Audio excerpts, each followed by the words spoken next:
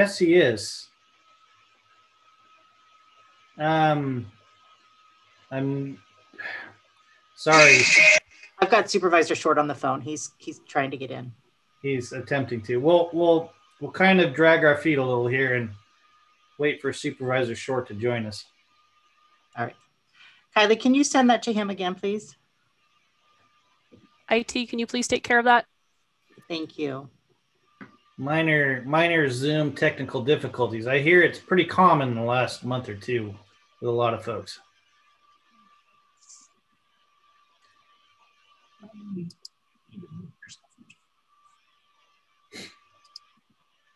Kylie, you want me to resend him an invite?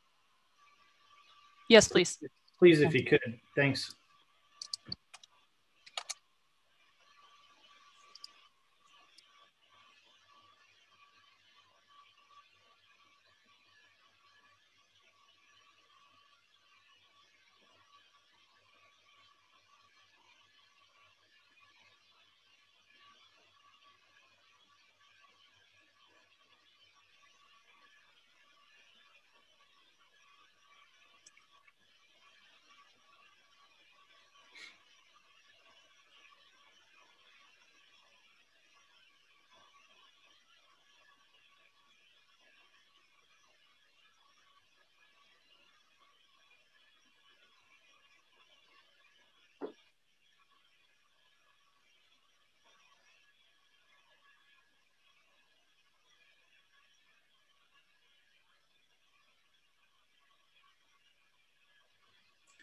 Well, I keep seeing people joining us, but not Darrin. and uh, he's item number two on our agenda. I don't know what to do about this. Valerie, did he say he was uh, in a rough connectivity area here?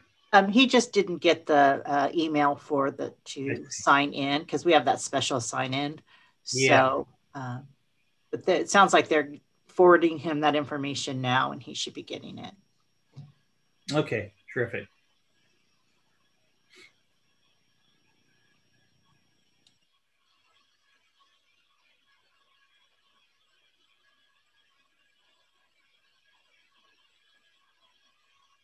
Now we see it. Hey, there he is. Thanks for joining us, Darrin. Couldn't start without you. Apologize for that. Sorry. No worries. for Late coming. We'll get started again. Kylie, could you please call uh, roll? Supervisor Hemmingsen, I am here. Supervisor Starkey, Here. Supervisor Short, Here. Supervisor Berkowitz, Here. Chair Howard. Here. All right, we're going to pause for a brief moment of reflection.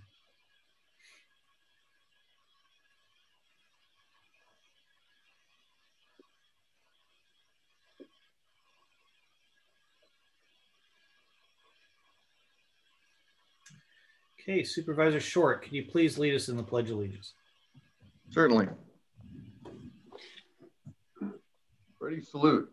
I pledge allegiance to the flag of the United States of America and to the republic for which it stands, one nation under God, indivisible, with liberty and justice for all.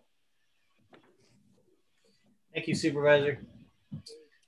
Um, any new employees to announce here today, Neil?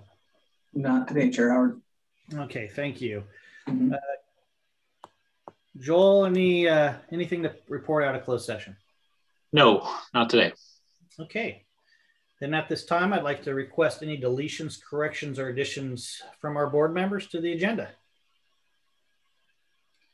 Okay, seeing none, we're just going to go ahead and get started then on our brief reports.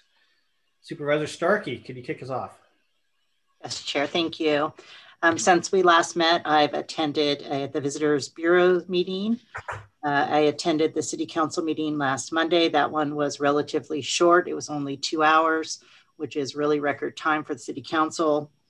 Um, last night, I also attended their City Council budget workshop meeting.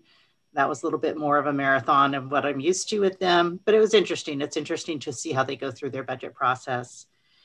Um, I spent a lot of time in the last two weeks researching the Mental Health Services Act. For those of you that might not be familiar, it was a tax that was passed in 2004 that taxed people that make over a million dollars to put toward mental health services in California.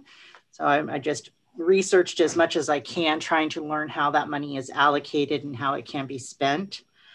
Um, I attended the solid waste management meeting. Uh, we were able to award Daphne Lambert the Green Ribbon Award for Outstanding Environmental Activism. Uh, Daphne la- launched a program that uh, where the unhoused are cleaning up garbage and in the encampments around uh, County. And since they started that program in April of this year, they've collected upwards of 10,000 pounds of garbage. And so that is um, quite a, an accomplishment, and we appreciate her work on that. She is in need of construction quality garbage bags. So if you are wanting to help out with this program, you can donate some of those garbage bags. Um, we did, I did receive some community complaints about the garbage in the encampment above the uh, cemetery. And so within moments of me being tagged on Facebook by someone, um, Chief Griffin from CCPD contacted me and let me know that the city does have uh, plans to clean up that area. I asked for um, him to send an invite to the entire Board of Supervisors so that we can be part of this solution as well.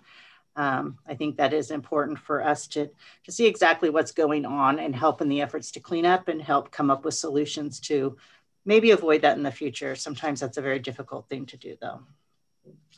I attended the Department of Resources Recycling and Recovery re webinar. Um, as I've mentioned before, I'm very committed to learning everything there is to know about SB 1383, and this is just one more resource for me to, to get more information. I participated in the administration manual meeting and workshop.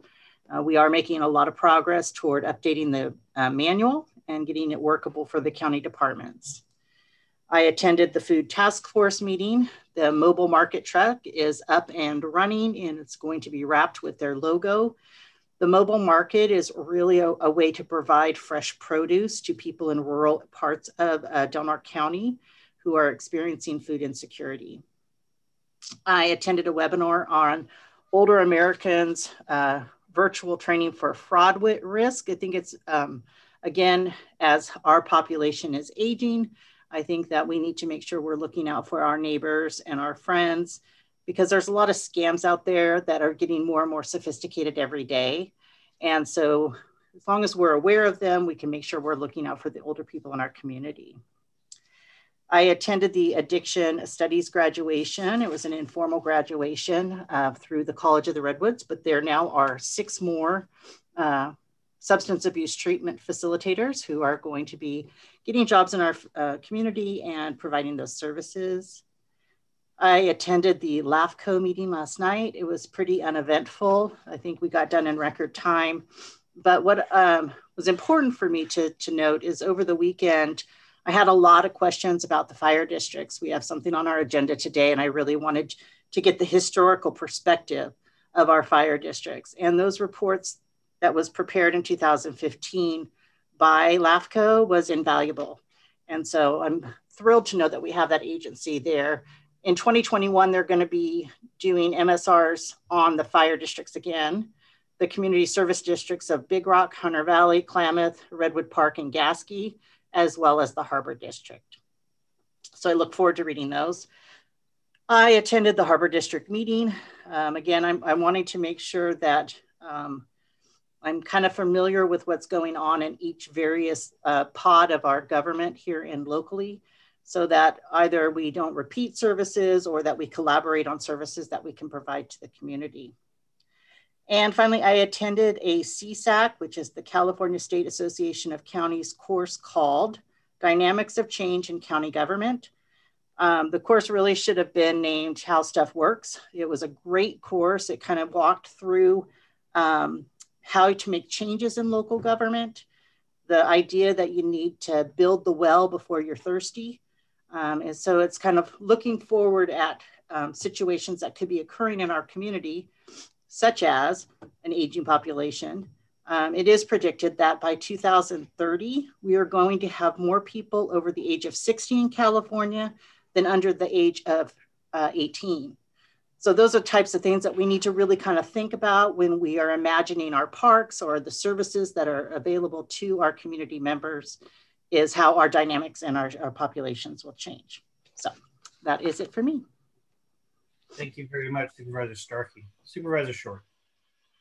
Thank you, Chair. Um, since our last meeting, I attended the North Coast EMS uh, Medical Advisory Committee and Trauma Advisory Committee.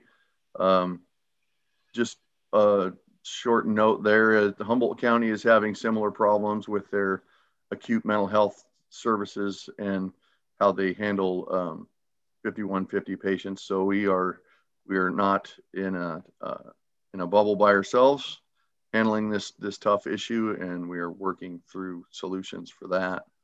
Um, attended a walkthrough of the Del Norte County Jail with Supervisor Hemmingsen, um, where we noted many uh, many maintenance issues that we'll be working on in the future uh, due to the, the building's age.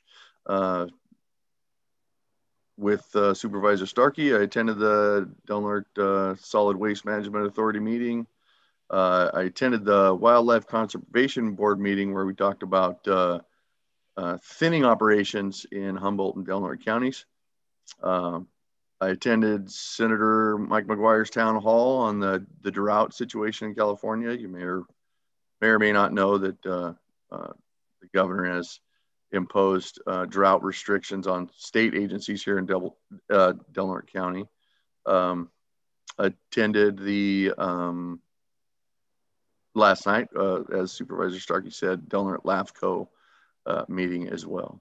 And that is my report. Thank you, Supervisor Short. Supervisor Hemmingsen.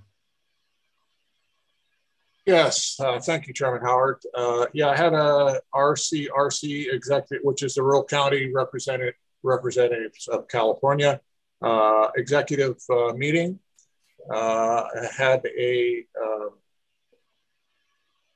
RAMP uh, meeting, which is the uh, risk assessment uh, management uh, program uh, for whales. Uh, and Uh, we made our recommendation. Uh, the working group and the director uh, went a different, well, I, I should say went a different direction. He went along with the department's recommendation, which is to close the season effective June the 1st. So crab fishing will cease on June the 1st, which is uh, about six weeks shorter uh, than the normal season. Usually it goes till July 15th.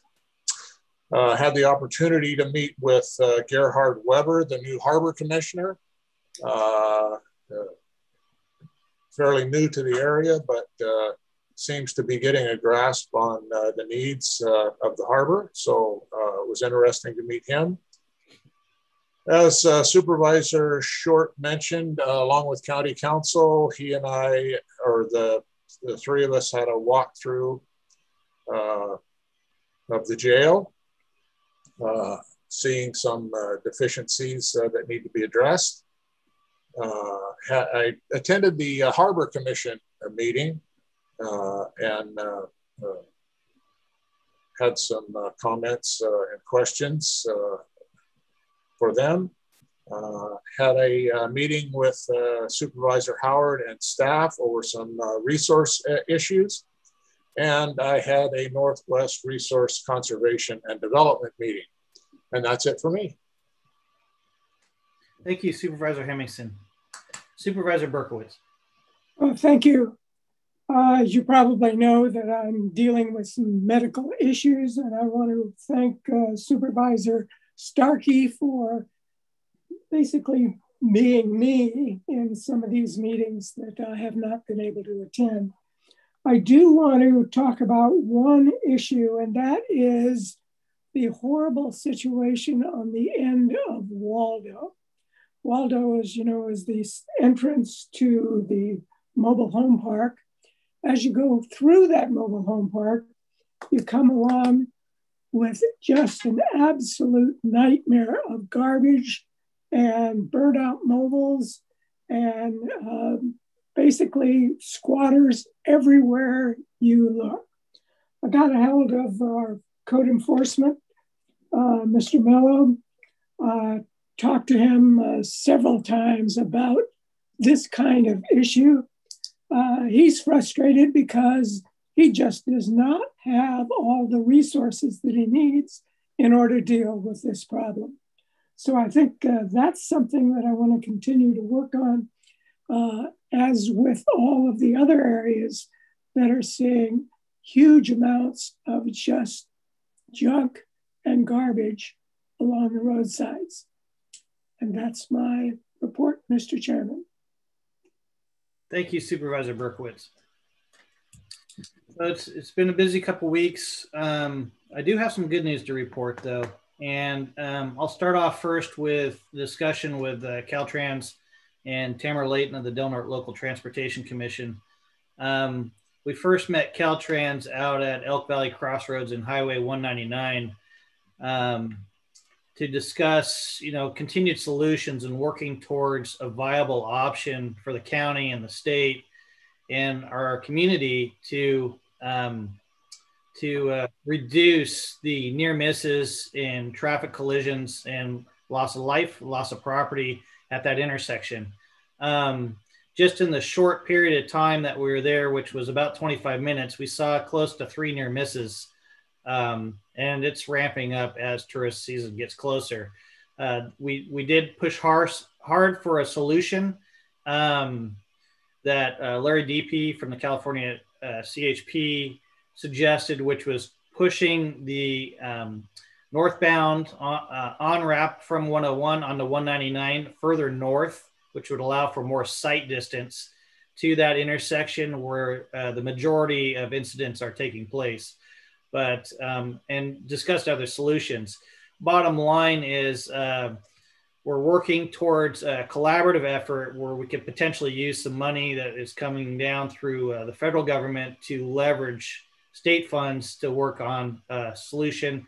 I think Tamara is doing an incredible job to help get us there, and uh, we'll see how that turns out. But the, the good news is after that, we visited um, uh, Timber Lane and Highway 101 at the Dollar General store. And as you know, uh, Supervisor Hemmingsen and myself have been talking about this for a great deal of time.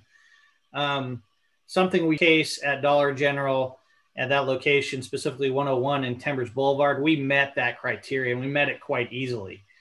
And uh, David is going to move forward with uh, getting this on the books. Project design, which would include um, northbound turn pocket onto Timbers and a, uh, also a pocket on the southbound side of 101 that should help reduce that area and those congestion problems significantly. And he's promised to do this in less than a year.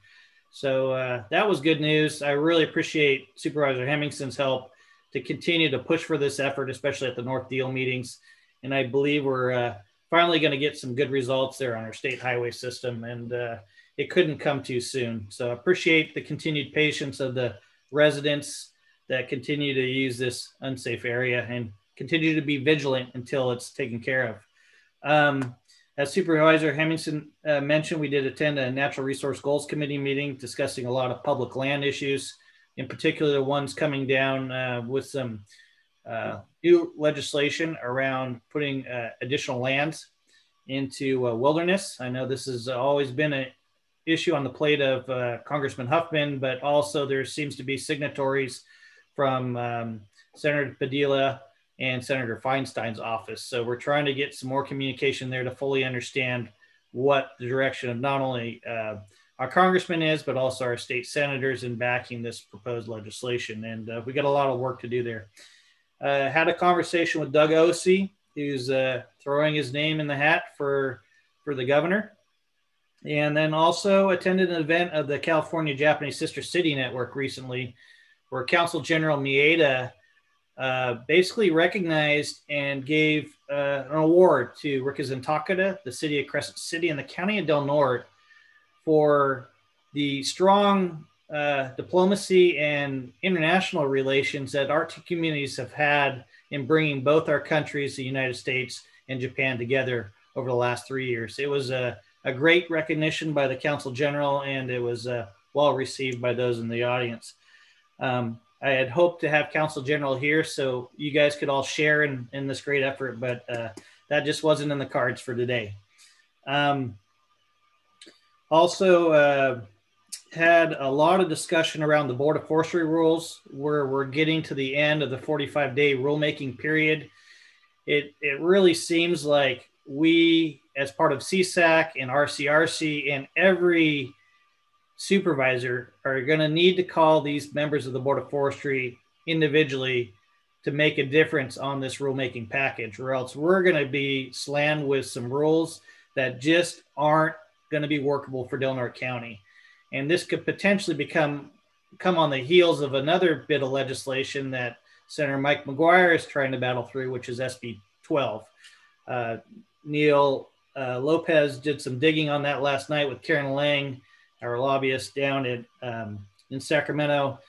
And some of the language that's currently being considered is just unworkable for Del Norte County. And it, if they put us in a lot of these tiered approaches, I, I truly, like I've said and uh, been on my uh, pulpit for for the last several months, it's going to shut down development here in Del Norte County. And we we as a board need to continue being very vigilant and cognizant, and continue paying attention to it from our lobby sides of both RCRC and CSAC.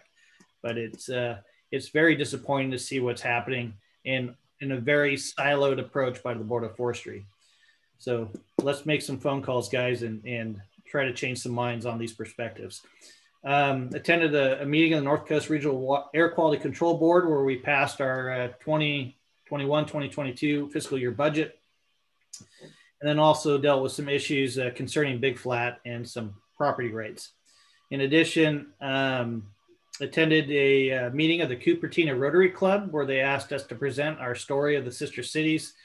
Um, got a lot of tears from those folks and the 87 people in attendance, and uh, really appreciate uh, Blake Inscore's help in giving that presentation. Um, was asked recently by the Del Norte Senior Centers to join their uh, board, and I've accepted. I'll probably have to put that on the agenda for next time to get the blessing of our board to join that. But uh, I had hoped that Supervisor Starkey was going to be able to join. I know it's a passion hers, but it looks like I'm going to have to be the one to uh, be on their board with some conflicts there. Um, let's see. I, I do want to thank uh, briefly both Supervisor Short and Starkey for really taking this mental health issue head on with our staff. It helps to have your perspectives as electeds and helping to uh, narrow down the options for the county and how best to treat this and also lets our staff know that the board's paying a, a, great deal of attention to this. So really appreciate your time and effort on that. Did have a conversation briefly with Jesse Gilkoff from the governor's office about the governor's proposed budget and if there's any uh, pitfalls we need to pay attention to there. And I basically said, you know, I haven't dove into it enough to really figure out what's going on yet. Let me get back to you. Actually, let me get some opinions from the rest of our board too before I get back to you. And lastly, I'll end. Uh, I did attend a, a funeral service for uh, Joe Borges. Joe was an incredible member of this community and uh, worked for the city for, for many years. Before that, uh, Reservation Ranch. Uh, he, he always came with a team approach no matter what the issue, helping not only the county roads department out on issues and, and joint collaborations, but Joe will be sorely missed and uh, all the blessings and prayers to his family in their time of healing. And that's all I have to report at this time. And I'd like to move now to our 1025 item, which is public comment. Members of the public may address the board on matters which are within the jurisdiction of the board. If you are addressing the board regarding a matter listed on the agenda, you may be asked to hold your comments until the board takes up that matter. Please limit your comments to three minutes or less. Kylie, is there any uh, public comment for today? Chair, I have one written. Um, do you want me to read that first or do you want me to go to online? Please go, go ahead. Okay, just give me a brief moment. I got to switch screens here. Are you no. guys still able to hear me okay? You, we sure can. Okay, so this is from Linda Sutter, and it says there are approximately seven RVs that are parked regularly overnight on South Beach. The one brown bus RV has been in Del County three months with no change of registration.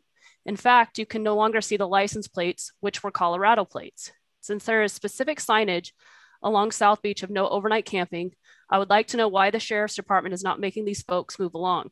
I'm sure the Coastal Commission would be interested to know that the county is allowing continued unauthorized overnight parking. In fact, the county might want to develop and request that this parcel of land be developed and start changing $40 per night to camp on our beach. After all, someone needs to pay for the wear and tear part of South Beach. Now for another thought.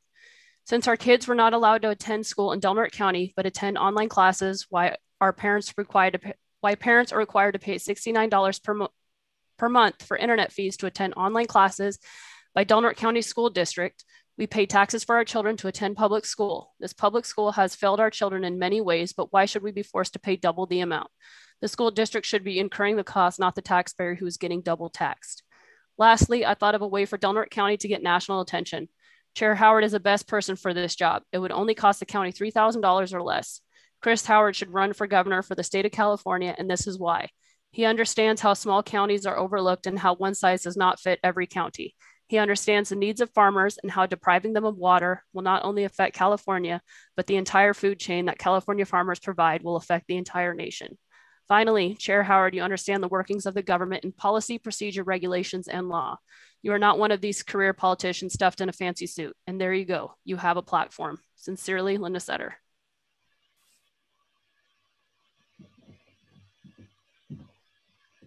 And I have online, give me one moment. Robert, you are on. Hello. Hi, guys. Can you hear me? Good morning, Robert. Hi, it's Robert. I, I just uh, I just wanted to speak up just because uh, about a month ago or so, like uh, some of our neighbors, the the Tolowa put out that they were seeking support uh, in some manner to reacquire some of their lands back. And uh, you know, I don't know how far it's going to go. But I just wanted to speak up for my support for the county to somehow ally with them uh, to reach their goal. I was reading about the parcel that they're hoping to get back, and I was kind of immersing myself in county history. And when you read the dial- diary entries from the 1860s, you can see that the property had started out as a slave plantation. Over and over again, the diary entries would say, uh, you know, superintending 40 Indians plowing potatoes and 17 children in the garden doing this and that. And uh, Mr. So and so went into the hills to search for runaway Indians. And that would be the journal entries over and over again as a manner of supervising Indians' work on the land and then capturing them, you know, right after, within about a decade or so, several massacres in that area. And so I just wanted to uh, speak up for my support. You know, I know the county put it on their agenda. Uh, in September is on the consent agenda to, to recognize, um, you know, Native American genocide and that kind of thing. And, you know, there must be some meaningful ways to, um, to bring that proclamation to life. Um, I just uh, advocate for the county to investigate how they might uh, serve that sort of interest. Thank you very much. Thank you, Robert. Chair, I'm not seeing any more online uh, public comment. Okay. No, I, I do appreciate that, Kylie, for taking a look at that. And uh, let's see, it is now 1030. I'd like to go to uh, public comment with, uh, no, sorry, not public comment. That's our report from Dr. Rehwaldt. Doctor, I see you are with us today. Uh, please join us if you can. This is love to get. Good morning. Can you hear me? We sure can. Good. Um, well, I'll keep my report fairly brief because uh, there's not been a whole lot of news since the last time you met. The biggest uh, difference, I think, is today is the first day of uh, the new vaccination service provided by the state through OptumServe. Uh, so you might remember from some of our announcements, they're taking over the operation at the fairgrounds for us on Tuesdays and Wednesdays. They're actually going to extend the hours so it'll be available from 10 to 7, which is good for people who are working and are finding it hard to get away from work and may want to come get vaccinated. Uh, a little rough at the beginning today. Um, there's some supply issues that materialized overnight that we're fixing as we speak. Uh, so I think they'll be up and running today, but I, I really don't know how uh, how much business they are expecting or how much we're going to expect. They are still using Moderna vaccine. Um, and they will continue using Moderna for the foreseeable future. Um, we do have some clinics upcoming, which will include Pfizer vaccine. Uh, we have a clinic tomorrow actually with Pfizer at uh, our health department. So we are relocating as they locate into the fairgrounds. Uh, I think we have another clinic on, I better check my schedule here real quick before I misquote. Another clinic on June 8th with Pfizer at the fire hall, which is an afternoon evening clinic. Uh, that'll be followed by other clinics uh, later on in June at the same location. And then Sunday, the 13th, we have uh, Pfizer, Moderna, and uh, J&J vaccine, which will be done out at Smith River at the school gym.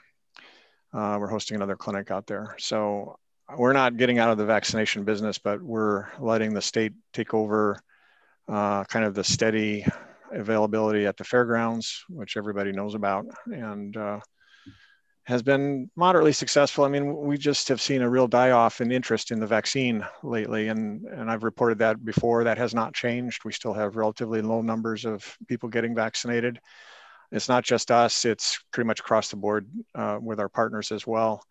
Uh, there's been a little bit of interest since Pfizer got here because that enabled uh, some younger folks to get vaccinated. And honestly, our biggest interest group right now is uh, teenagers and their parents. So that's one of the reasons we want to set up these extra Pfizer clinics and extend the hours, make it a little bit easier for people to get in.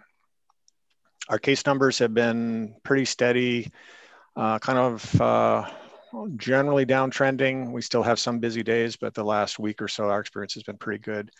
We've probably averaged about two or three a day, uh, which for us is still more than we'd like, but uh, it's manageable, certainly. Uh, case numbers at the hospital have been between zero and three. I think we have three people there this morning. I think a couple are being discharged today. Um, so more or less about the same in terms of activity and impact on the hospital.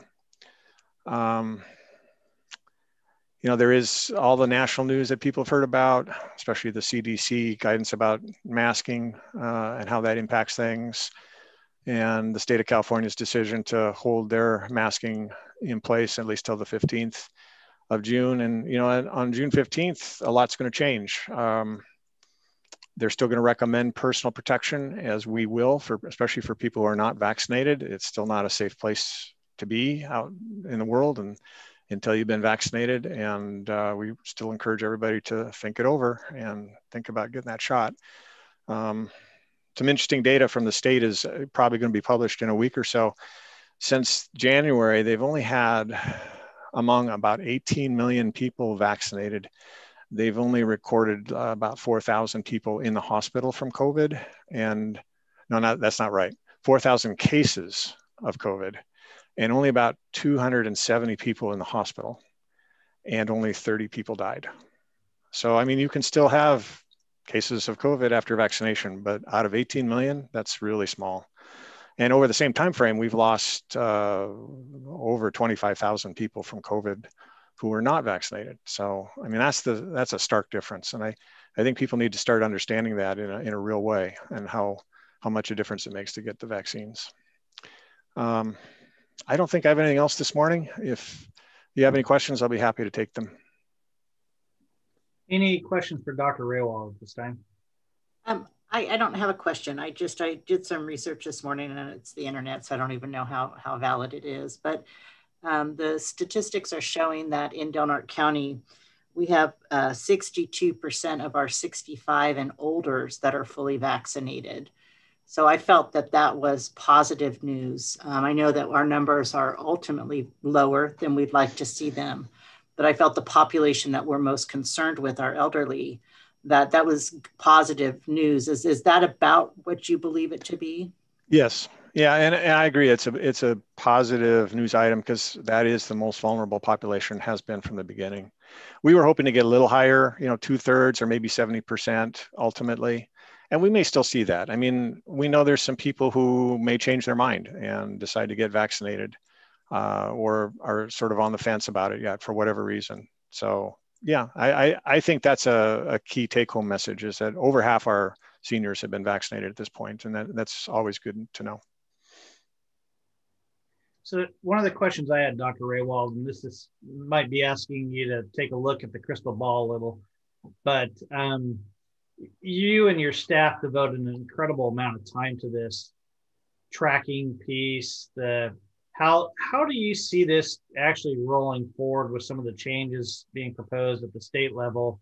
I mean, has that been discussed much amongst the CDC? Well, they uh, have polled the counties about whether we are starting to dial back any tracking or any case investigation.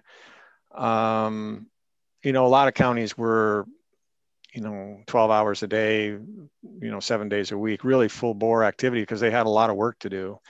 We got to almost that point. I mean, we had, uh, we, we dedicated some staff to work on weekends and, you know, tried to keep the coverage going, you know, seven days a week.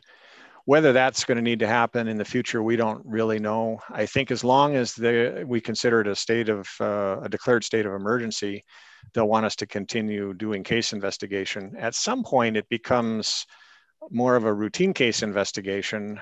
Uh, I don't think we're there yet. I think that's several months down the road at, at the least.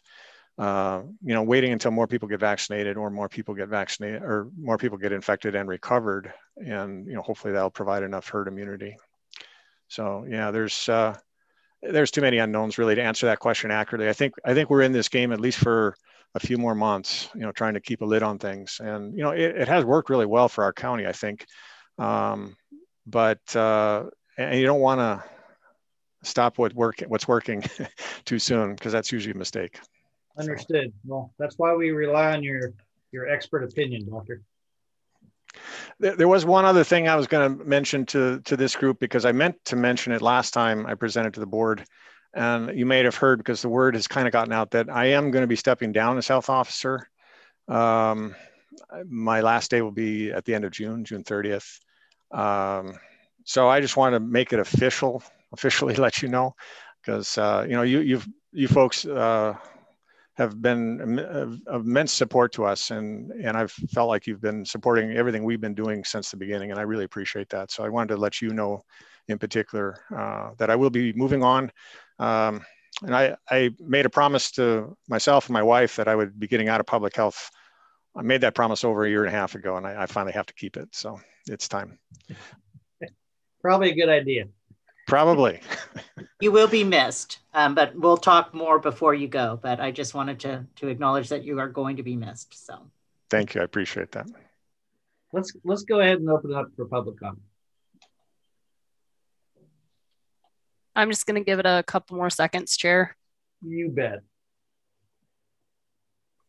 I'm not seeing any public comment at this time.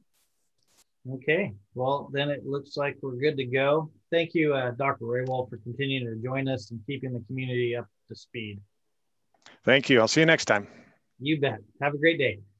All right. Well, it looks like it's uh, 1040 and we do have another timed item, which is the U.S. Capitol Christmas Tree Project update. I believe Ted McArthur is with us today in the audience. Ted, are you with us? I am. Hey, good day. Why don't you uh, tell us a little bit about the project? Absolutely. And, and, first of all, I just want to thank uh, all, all, the honorable board members for, for giving us some time today. Um, I apologize. I'm, I'm in transit to uh, annual.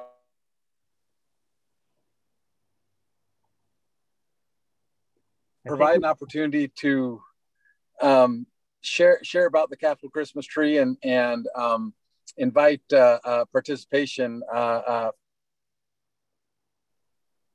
hmm. We've got Ted going in and out. Here. What's that? You're going in and out, Ted. I'm afraid it's uh, cutting, okay. Cutting can can I can I turn it over to Samantha Rijo? You you sure can. Good morning, everyone. My name is Samantha Rijo, and we had a backup just for that reason because um, our forest supervisor is on the road.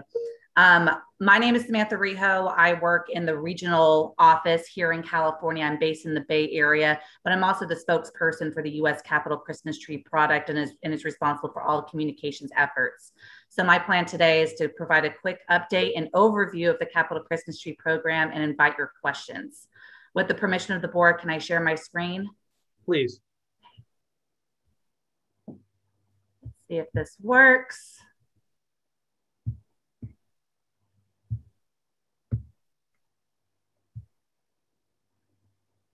Can you please, can you see the screen?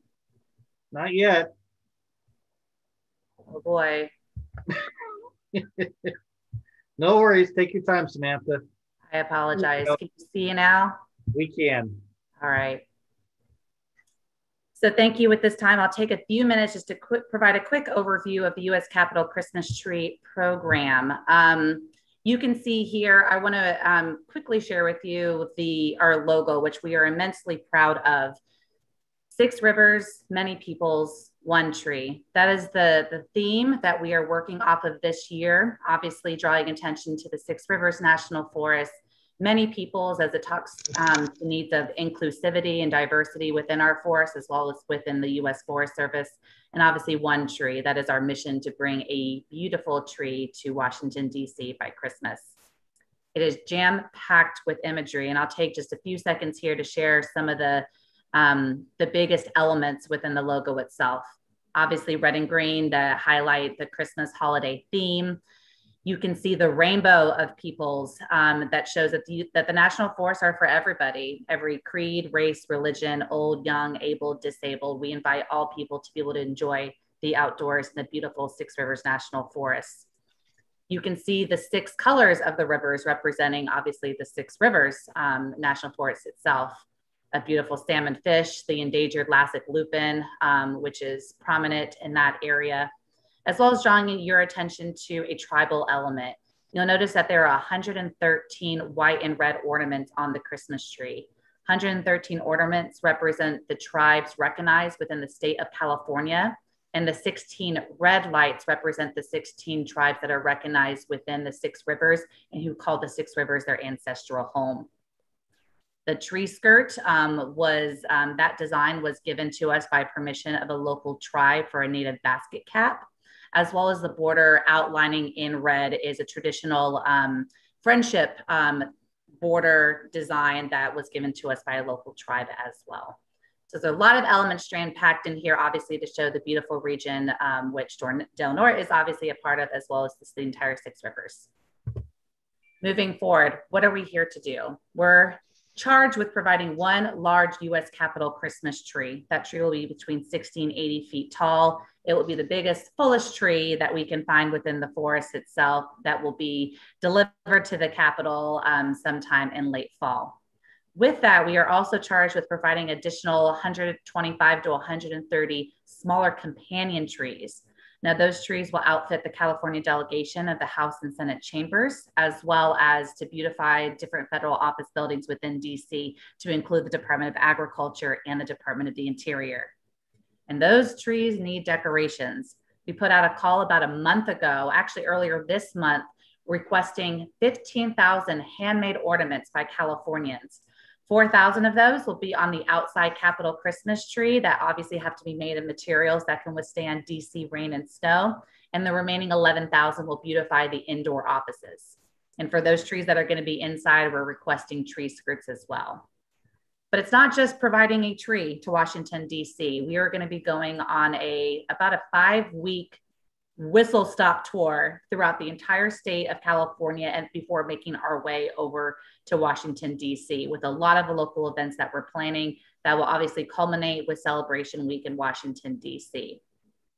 On top of that, as everyone well knows, we are being very, very mindful of what we can do in this new normal environment as vaccinations become more prominent, but obviously keeping safety um, and the safety of not only our employees, but the safety of folks who come to events at the forefront of our minds. Moving forward, I shared this already. Our intent is to find the biggest, shiniest, fullest, best, prettiest, tallest, close enough to a road that we can access tree for um, the US um, Capitol's West Lawn, and obviously to showcase the Six Rivers and its peoples. Moving forward, you can see very quickly here just some of the milestones that we are working off of. We've already um, put out a call for ornaments and skirts, and we invite anyone that's on this call, and specifically the board, if you're interested in, in showcasing Del Norte specifically um, by providing ornaments or skirts, we would certainly love to have that. We're in the process now of having rangers going out and identifying candidate trees that will be selected by the representative of the architect at the Capitol who comes in mid July. Between then and October, we'll be very busily preparing, doing some local events and some press around the communities up there before we actually harvest the tree on October 23rd and launch a few days later. So moving forward here, how you can join in, as I mentioned earlier, ornaments and skirts, hosting a tree event. Um, I want to give specific shout out and thank you to Cindy Bosberg, who I, I believe has been our, our conduit um, with, with Del Norte and has provided some assistance and support in providing um, and the potential for hosting an event in, in Crescent City or even Klamath when we start our tour around October 27th. At this time, I'm happy to take your questions, and I also invite my colleague Nancy Henderson or even the forest supervisor Ted if he's able to, to provide any additional add-ons.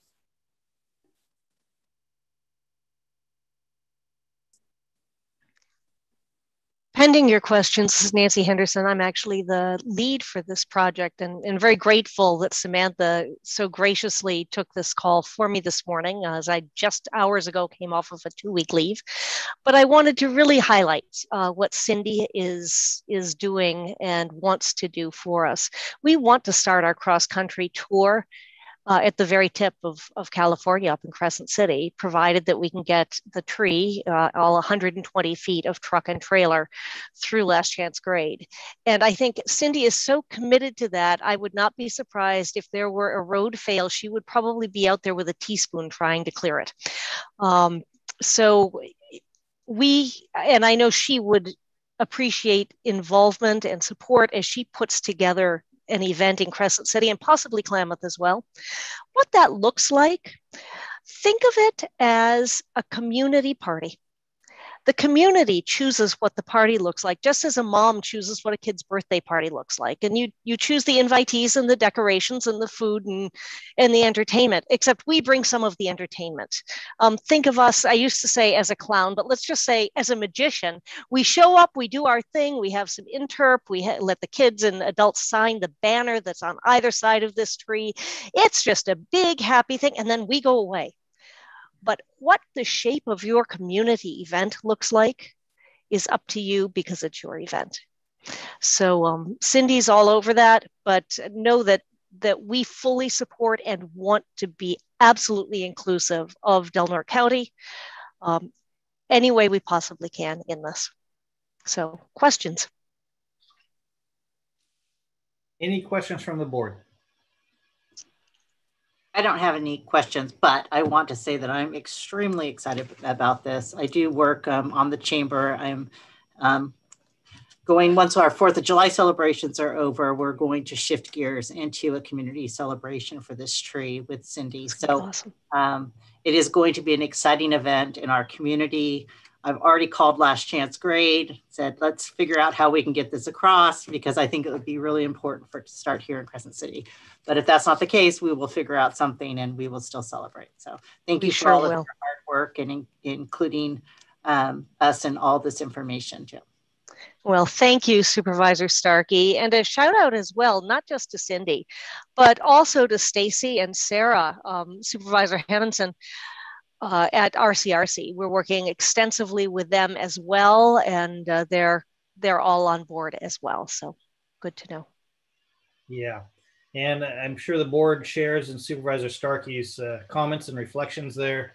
Uh, we do appreciate your time, Nancy and Samantha, and, for joining us today and and sharing this effort with us. And we'll participate, I'm sure, in any way we can. Um, before you guys leave, I do need to open it up for public comment just in case we have uh, some comments from the folks in Del Norte County. Uh, Kylie, could you check on that for us, please? Chair, I'm not seeing any hands raised at this time. Great. Okay. Well, you guys are getting off easy today. And we do uh, really appreciate the presentation and uh, thank you for uh, thinking of us as we move forward with this great little project for our community. Thank you for your time. I'll plan on putting our social media um, information into the chat box for a, for a follow. But thank you so much for your time and for the board's time. You bet. Thank you very much. Have a great day. All right, it is 1050 and we're gonna go ahead and move to our last time item, which is a uh, update from Del Norte Ambulance. And I believe we have uh, John Pritchett with us today. I believe I saw him in the audience. Oh, it looks like we also have uh, Mr. Sandler too. Good morning to both of you. Morning. Chris. All right, who, who gets to take this, take the lead here? Well, let me go ahead and uh, start off. Uh, greetings, and I, I want to thank you for letting us come and speak with you today about our services and what we've been up to over the last year. Um, in 1985, when I, I first came to Del Norte County to make it my home, uh, Del Norte Ambulance had one full-time and one part-time ambulance that was, uh, or one crew that was working out of three well-used ambulances and uh, to, out of one station.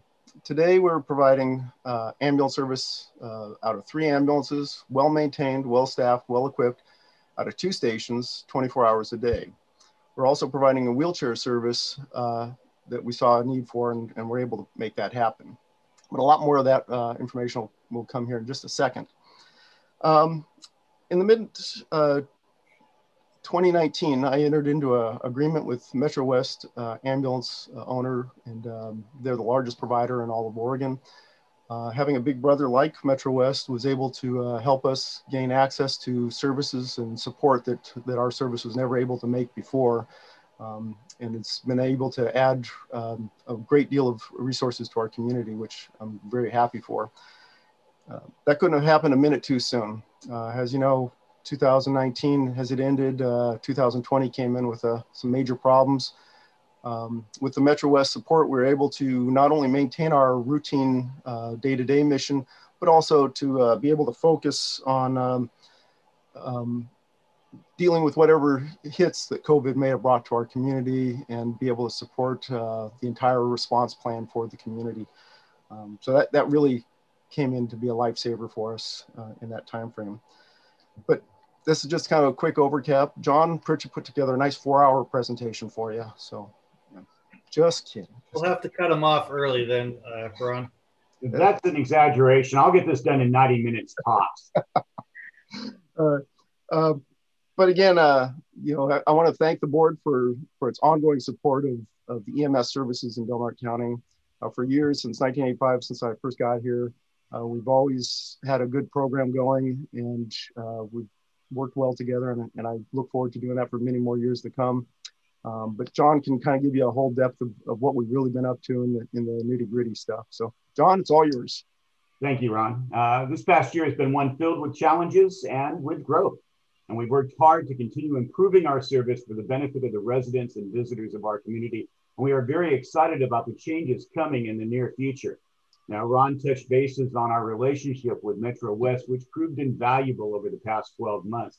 During the heart of the COVID crisis, three of our paramedics contracted the virus, and for a small company, that's a loss.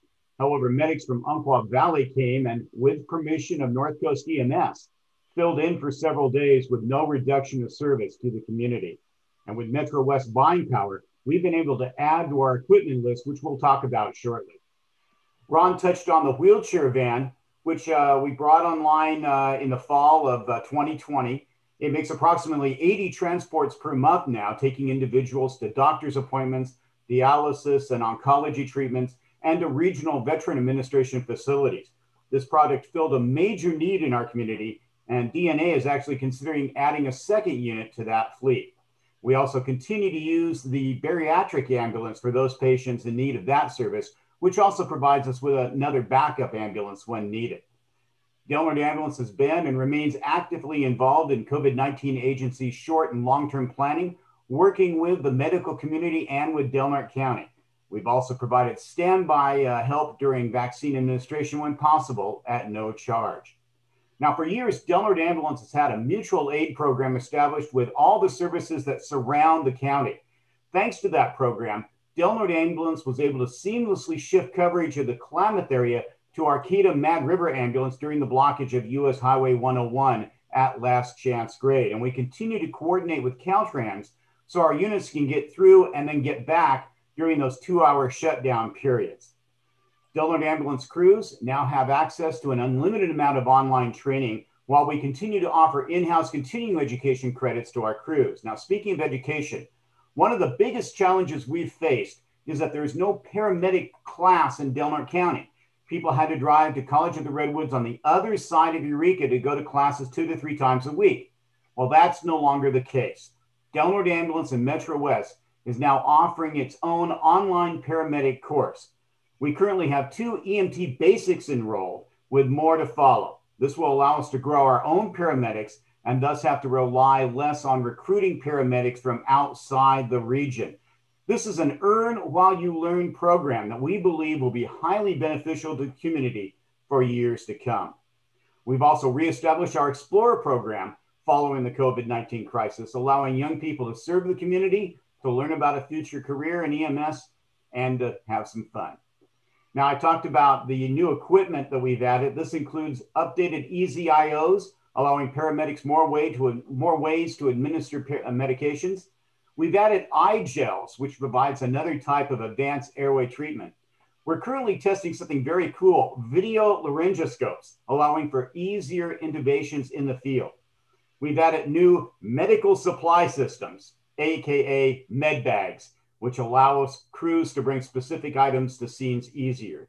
We've added laptops, allowing easier transmission of information to hospital personnel.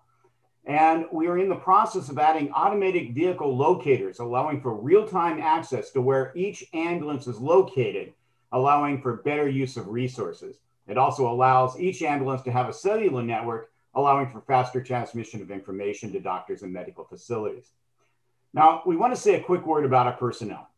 Del Norte ambulance crews have worked tirelessly during perhaps one of the most stressful, potentially dangerous times in their careers. Our crews at times have worked hours wearing masks and uncomfortable personal protective equipment, often running extended shifts away from their family and friends. While many industries shifted to uh, a, a home based workforce, Del Norte Ambulance and the first responders of our community continue to make house calls nonstop in the midst of a pandemic that has cost the lives of more than a half million people nationwide. Now, coming in the near future, we have three new four wheel drive units coming online soon, giving us better versatility and a higher level of crew safety. This is going to be especially important during uh, the winter months when we're taking patients on long distance transfers to Medford, Redding, Sacramento, and the Bay Area. We expect these units to be uh, in service this summer.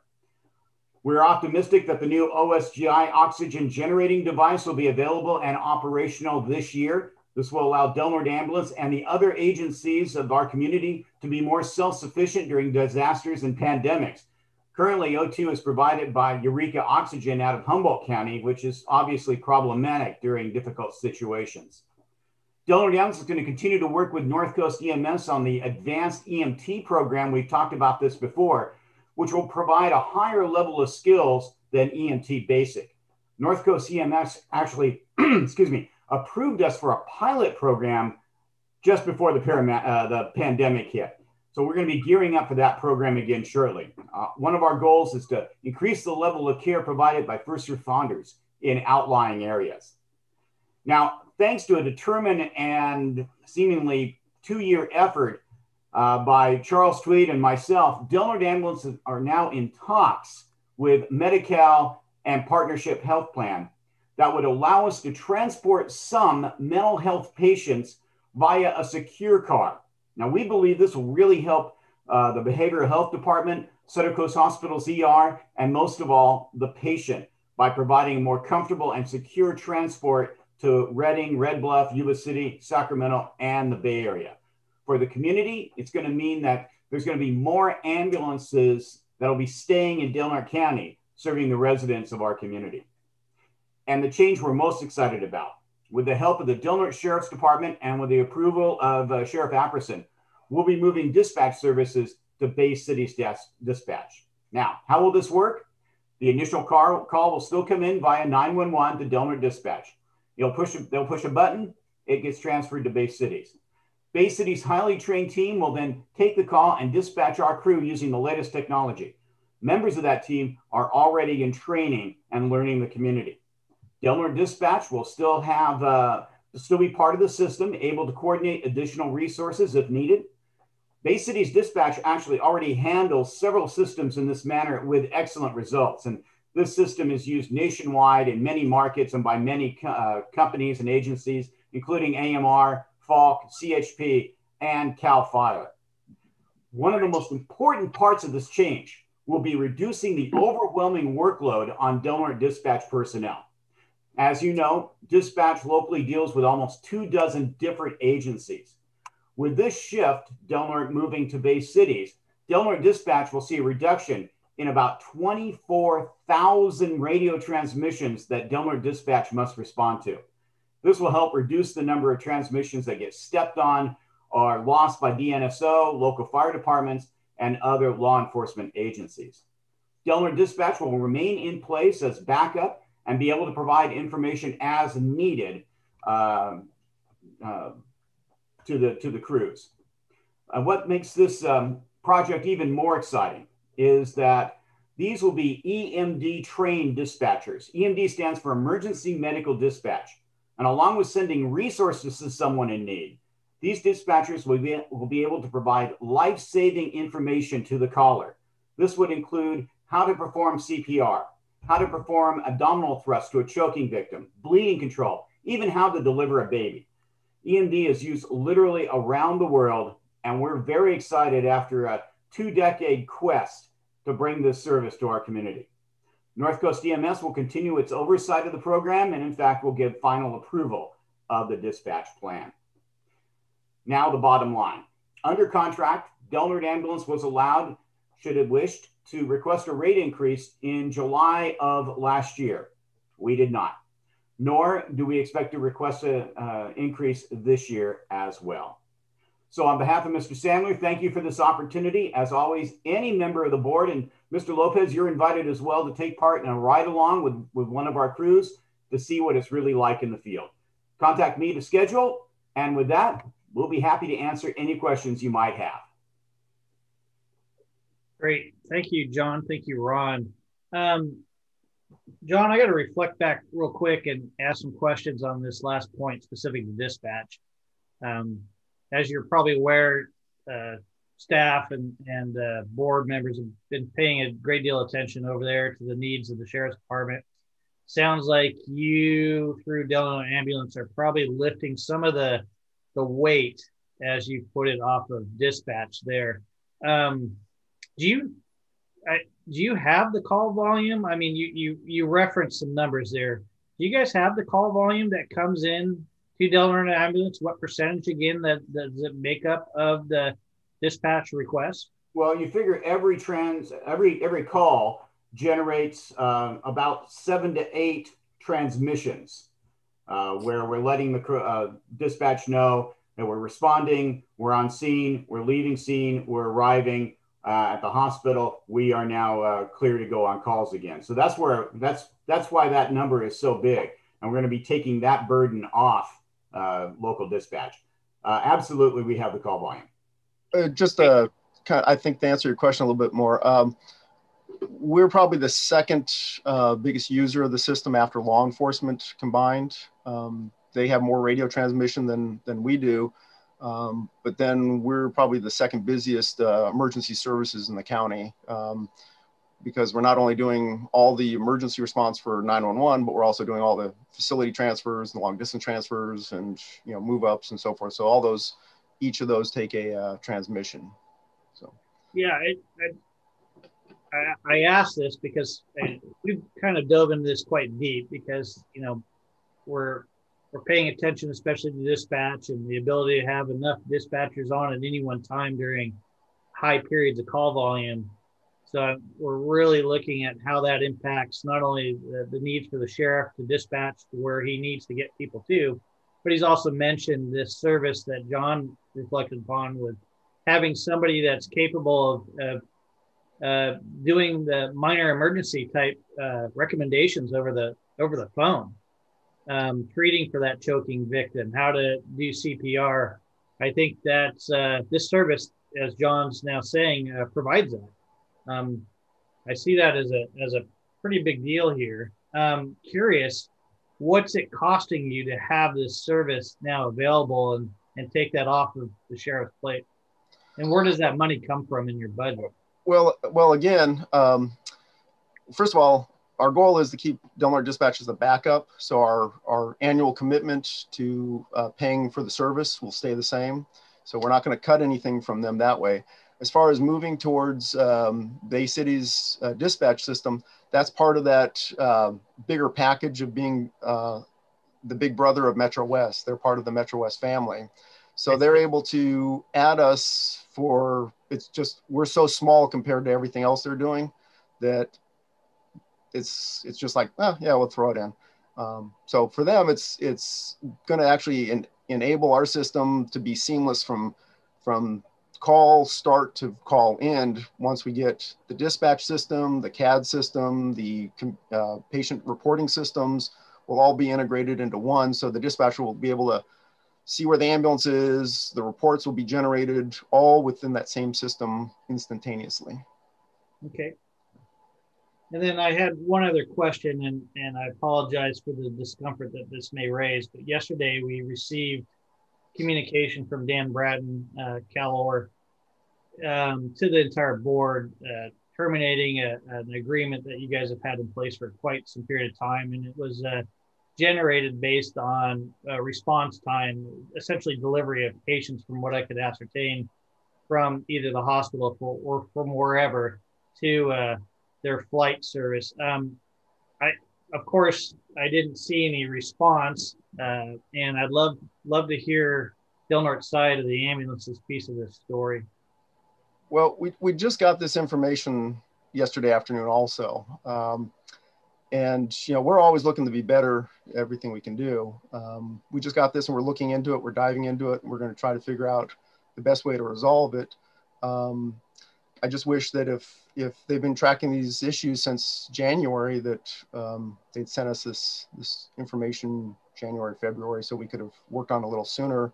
Sure. Um, it appears from their letter that uh, they're looking at moving out of a relationship with us no matter what. Um, so even if we were to, to be perfectly mitigating the issues, it looks like that their, their goal is to, to move out.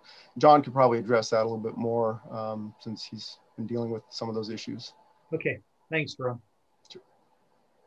Yeah, I agree with Ron. If uh, you know, it's something where there, there's an issue, we want to know about it. We want to know about it as soon as possible, not six months down the road. And, um, you know, the AMR Reach Corporation can end the contract uh, without any reason, without any at any time. It's their prerogative. Uh, but Del Norte Ambulance remains committed to doing what's best for what we consider our shareholders, and that's the people of Del Norte County. Okay.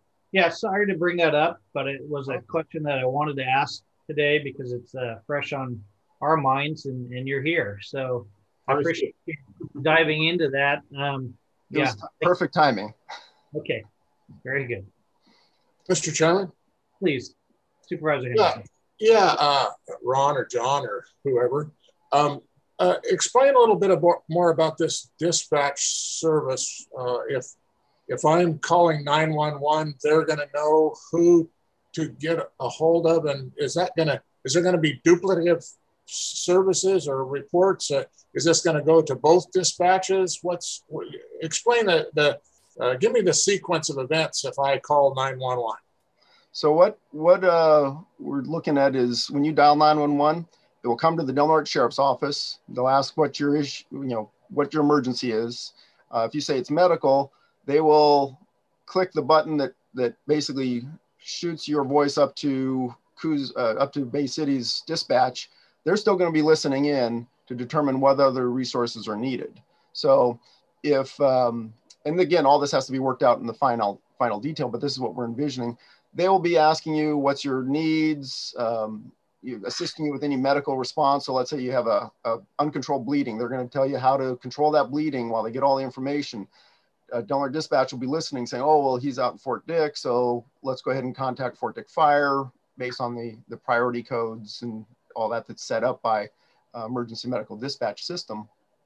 So everything will be happening simultaneously. Um, it just, they'll be able to, with the eight, with the uh, satellite tracking systems on the ambulances, they'll be able to see what is the closest ambulance to your location and dispatch that ambulance directly to you. Um, but yeah, you should know it should be seamless. Just like if you were to dial uh, CHP right now, 911 on your cell phone, it goes to CHP in Humboldt County. You say, I have a medical emergency. They ship you up to uh, Del Norte Dispatch and they pick it up from there for you. So it should be very much the same.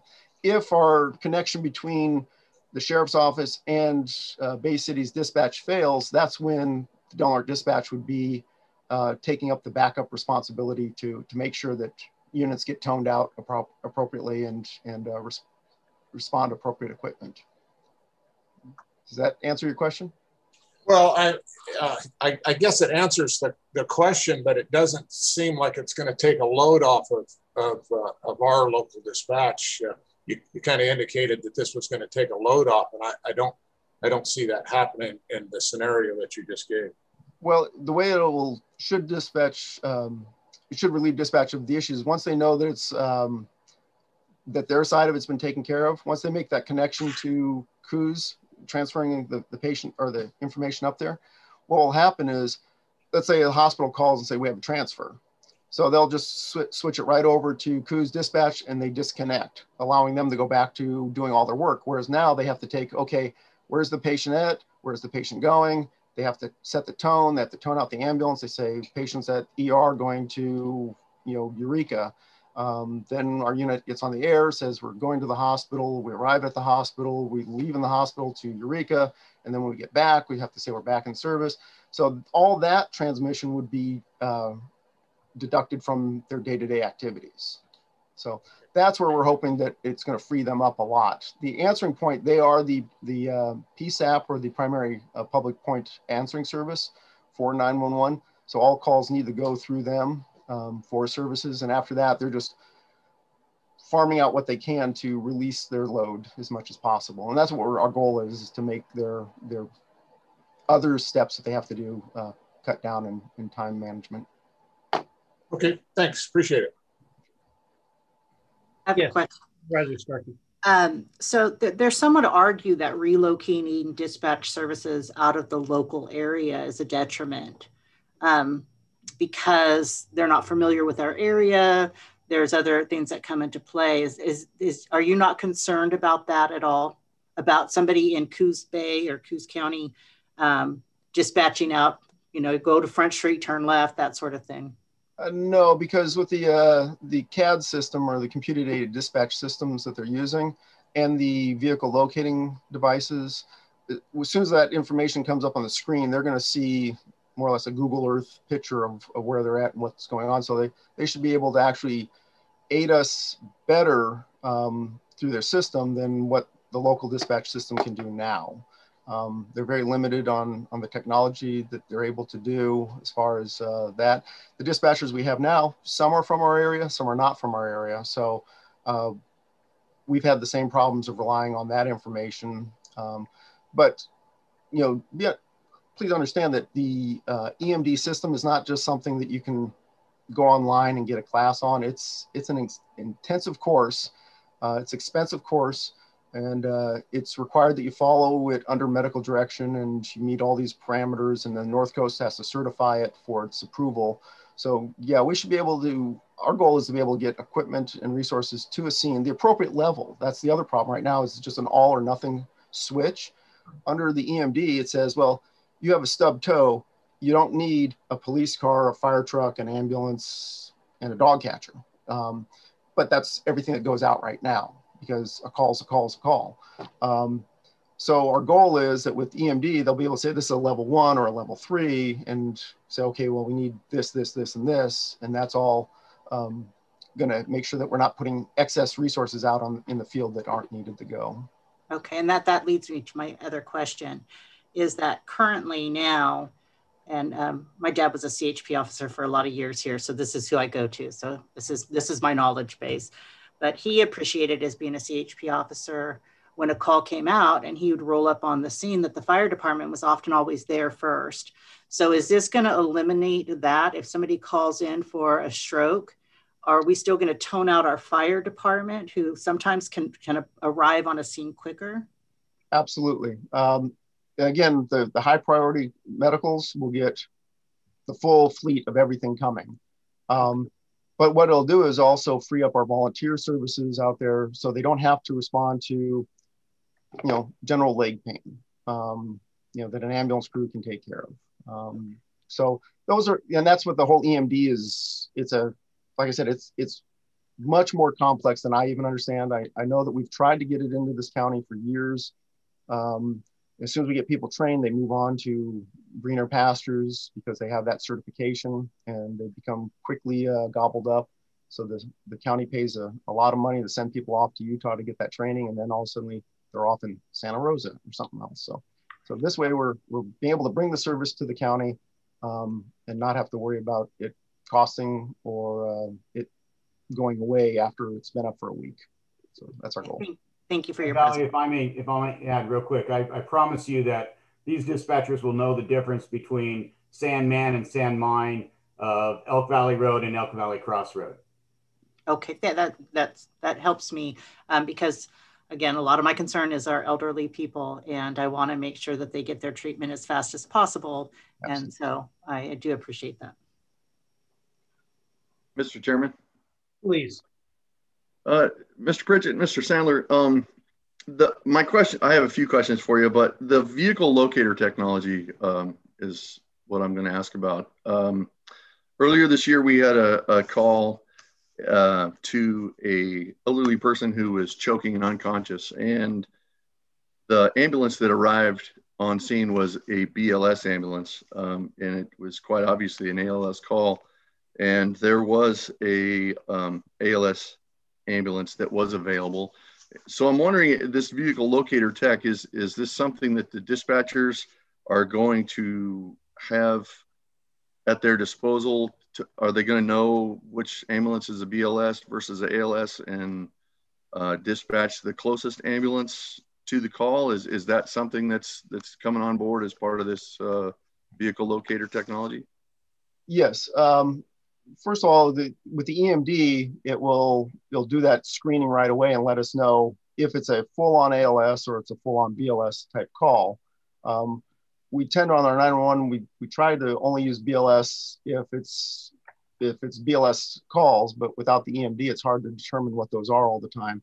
Um, but yeah, with the with the vehicle locator system, it will show every vehicle what their status is, um, what their level of, of service is, and uh, and they'll be able to dispatch those directly.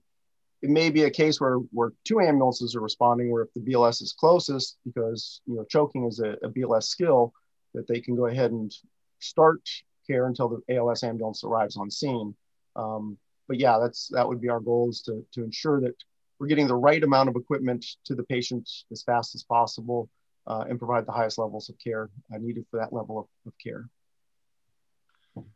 Okay, thank you. Uh, I got a few more questions. Um, your online paramedics course that uh, you announced working through Metro West, um, how how does that work? I mean, we all know there's got to be some hands-on portion. It can't be completely online. Um, so I just curious as to as to how that that worked and how your uh, your two employees are are are taking it. Well, they've just started, and and you're you're absolutely right. Um, we'd been working with CR uh, beforehand uh, to do online classes uh, so that uh, individuals did not have to make these endless trips back and forth to the other side of Eureka. Uh, that just wore people out. So really, that's just uh, something we've been working on already. And then, yes, the the crew members will be going and doing hands-on training as as appropriate and as needed and to, to fulfill the uh, the requirements to become a full-fledged paramedic. You know, another point another point of that is even after they get done with their, their class, they'll have online class. They go actually to a location and, and practice like two, three weeks that they're going to be working uh, at different times throughout the class to uh, work on skills. Then they'll come out and work as a uh, third person on an ambulance as a trainee, um, getting enough contacts, work with the field training officer but um, even after that, um, even after they get their state license and their national registry and everything, I've, I've made it very clear to Charles Tweed that no paramedic can work uh, on our ambulance unless they can respond to his family. Because if they can't respond to our families, we're not going to let them respond to your families. Um, and that's that's an absolute. Because my grandkids fall down and need an ambulance today, I want to know that that paramedic on that ambulance is doing the absolute best job anywhere in the world and that's that's the standard. Um, it's not just a, a, corporate edict that we yeah we put good stuff out there and yada yada yada. It's it's actual real world. It, it they respond to my family if needed, and so I want the best. So. Thank you, Ron. That that kind of leads me to to uh, a question I have. Being I'm on the the North Coast EMS uh, JPA, and and last last meeting or meeting before, we talked about the uh, core quality measures that uh, California EMS Info Systems put out a report on from 2019. Uh, specifically talked about um, in in the five counties that that North Coast EMS controls, there was um, one, um, I guess, relative downfall that that the different ambulance companies were making, and, and, and specifically it was uh, glucose testing for uh, stroke victims or or unconscious patients. Um, how does how does your how do you reconcile um, getting information like that? Um, and, and, the reason I ask this is because we we had a call the other day where uh, there was an unconscious patient and and uh, the paramedic was reminded about this and and they they kind of discounted it and put it off um, like they could check the glucose later um, maybe in the rig or or something when when it seemed like now was the time to check the glucose because we were trying to figure out why this this patient was unconscious. Uh, so I'm, I'm just curious how you how your um, quality control or your your your improvement structure is that would find information like this through North Coast EMS and then disseminate it down to your paramedics. How's how do you guys reconcile that? So um, we have a continuous quality improvement program that's been approved by North Coast EMS.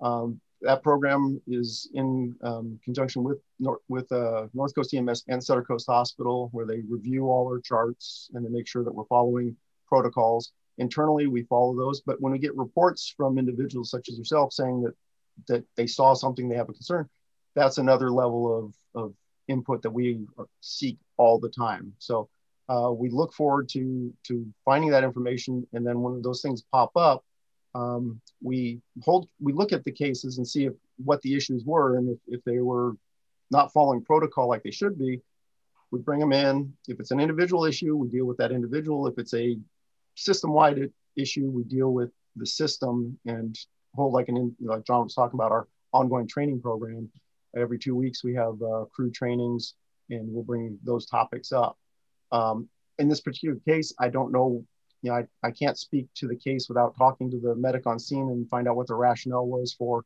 delaying that. I know uh, gluc glucometry is a, a, BLS skill now, so everybody should be doing it. Um, but um, yeah, I don't know why. Um, basically, when I went to paramedic school back in 1980, uh, we didn't have glucometers, so every altered level of consciousness was either considered drugs or sugar until proven otherwise. And if you did, treated those patients with that, then it had to be something else. Uh, nowadays, we have technology that can tell us what um, your breathing rates are and the amount of CO2 you're exhaling and the amount of oxygen you're saturating and the amount of sugar in your systems. And, you know, there's so much stuff out there that's that is at our fingertips we should be using every single time uh, it's available or needed. And again, I can't speak why that paramedic didn't do that, uh, but I will find out. If you like, I'll get back to you and, and let you know. That would be fine. I was just wondering uh, what your what your mechanism was for your your quality improvement uh, uh dissemination of information there. Um, you uh, you mentioned our our ominous last chance grade closer. I was just kind of curious. Um, you you mentioned your uh, relationship with Arcata Mad River. Curious as to how many times they were they were utilized. I know one time you you sent an ambulance down to Klamath and and they actually got stuck on the other side because the, the, the hill came down behind them. But uh, I was curious as to how um, how many times mutual aid was called um, for Arcata Mad River in that situation, and and also mutual aid from other agencies. How do you guys keep track of how many times uh, we ask for help for from AMR and Illinois Valley and, and Cal-Ore to the north? Uh, I don't have that off the top of my head. I mean, if that's something you'd like, we can find that information for you. Um, it's it's occasional. It's not like a daily event. Um, but when you have slides like that, uh, it changes your whole dynamics. Or you know, there's there was a time a few years back where we had all four ambulances. We had four ambulances on one day. We had all four of them on calls. We had uh, Cal-Ore coming in to run another call. We had AC or um, uh, AMR coming down to run a call. We had Arcata coming up to run a call. So we had like seven calls all within 20 minutes that popped, and and um, we're not we're not going to sit there and hold um, patients or hold calls if just because we want to get the call. Uh, we're going to start resources. If we can free up an ambulance um, in time to take that other call, or we can add another crew to a, one of our extra ambulances, um, we'll jump it and we'll let the crew, that other service coming in, let them know we got it, thank you, and uh, let them get back to their service area. But yeah, I, I don't have the numbers off the top of my head, but we can find them for you if you need them. I, I would be I would be curious to, to have those numbers. And, and yeah, I do I do understand sometimes the planets align and it seems like the world's coming to an end with all the tones going off. So I can I can relate to that. Um, one more question. A couple more questions. Uh, how often um, how, how often do you find yourself short staffed? I mean, I, I know when Metro West came and you started that partnership with them, there was a, a, wage increase for your personnel and, and some upgrades of equipment. And I, I assume this was an effort to, to retain employees. Has, has that strategy, has that strategy been successful or how, I mean, how often uh, you find yourself struggling to keep the three ambulances staffed? It's a roller coaster. Um, you know, our goal is to add a fourth ambulance. And uh, just before COVID came along, we were right on track for adding that fourth ambulance to a full 24 hour service um, COVID came along and um, all of a sudden that roller coaster took a, a nosedive because uh, paramedics were getting offered jobs to go to New York making, you know, 70 bucks an hour kind of thing. Um, so people were bailing on us, um, bailing on the system in general uh, across the country to, to make some high high dollars for short periods. Um, and we're starting to see that mellow out now. And again, our, our roller coaster is on the improvement. Um, like John said, we're with our paramedic program, we're working on bringing EMTs, drivers on board, uh, getting them certified. We got drivers going to EMT school. We got EMTs going to paramedic school. That's the goal. Uh, the more that we can bring in locally uh, from our Explorer program, uh, the more likely that they're willing to stick around um, our community. Um, a lot like the other healthcare providers in the in the county. Um, you know, younger folks want disco, not disco, but malls and nightlife and activities and stuff that we just don't have. Um, Charles works really hard at bringing people from out of the area that that are interested in the outdoor life, hunting, fishing, just enjoying our forest. And, and we have a good core group of those folks uh, with us now, and, and I think that they're here for the, the long haul. Um, but you know, being a paramedic is a tough job. It uh, long hours away from family and friends. Um, so if you come here and you get like a recruitment to come here, a lot like other county jobs, you get some time under your belt and you become hireable to other areas um, that give you less hours, more pay, and you get to stay by your family. So that's a that's a battle we're always fighting and, and we're never giving up. But we're just not filling seats with warm bodies. We're that's some of our problem too, is to make sure that they're high quality people that are able to meet the mission um, at hand. We recently did an interview. We were very excited about this person. And then halfway through the interview, they realized that Crescent City wasn't in the Bay Area. and that brought a brought the interview to a rapid conclusion. So it, it is. It's only that far on the map. Yeah. yeah. Uh, but it's something that we're, we're cognizant of, we're working on constantly. Is yeah, we want to bring the right person here. And we want to bring people here that want to make a commitment to for an extended period of time, not just six months and, and down the road they go. And so, you know, Del Norte County doesn't fit everybody, but for those people that it does fit, it's a, it's a great place to live. And with that's part of what we sell. But they have to meet, you know, the necessary requirements, not only from a from a licensing standpoint, but from a company standpoint and not everybody qualifies. Gotcha. Thank you for that. And I just have, I know I'm going long here, but I just have one more question. Uh, at the North Coast EMS MAC, um, two, two or three uh, uh, meetings ago, uh, your um, attempt at getting an EOA uh, exclusive operating area contract was was mentioned. Can you can you tell us about that and what's the what's the purpose of of trying to get that? Well, uh, Humboldt County uh, entered into an EOA process for um, city ambulance and Arcata ambulance uh, a few years back. At that time, I asked, uh, should we do it? What it does is it really protects the county um, because by having exclusive operating area, it puts extra layers of um, focus on the service provided in the area. The benefit to us is that it is the exclusive. So, you know, while we're being watched uh, more in depth, because part of the, the agreement is that um, North Coast would have a, uh, a uh, monitor watching our services, our times, our quality assurances, all those kinds of things to make sure that we're meeting the uh, every level of requirement. Um, it also gives us the ability to know that we're not going to have to deal with um, some of the bigger companies are just looking for land grabs. Uh, I know like Eureka's big issue. Why they put it in is because Falck was coming up from Santa Rosa. They just cherry pick some of the, the good calls. Um, and I say good calls are the transfer calls because they pay better than going behind Safeway and picking up somebody there. So, um, and that's what the EOA does. It prevents that cherry picking of, of services and ensures that the county gets the highest quality services um, available the EOA, uh, the county can always withdraw the EOA um, anytime they want. So it's it's not like once once you've entered into it, it's you're locked in for life. Um, but it is uh, incumbent upon the, the provider to ensure that the highest level of care is provided all the time and to keep you happy with the services we're doing. Um, otherwise, you can withdraw that.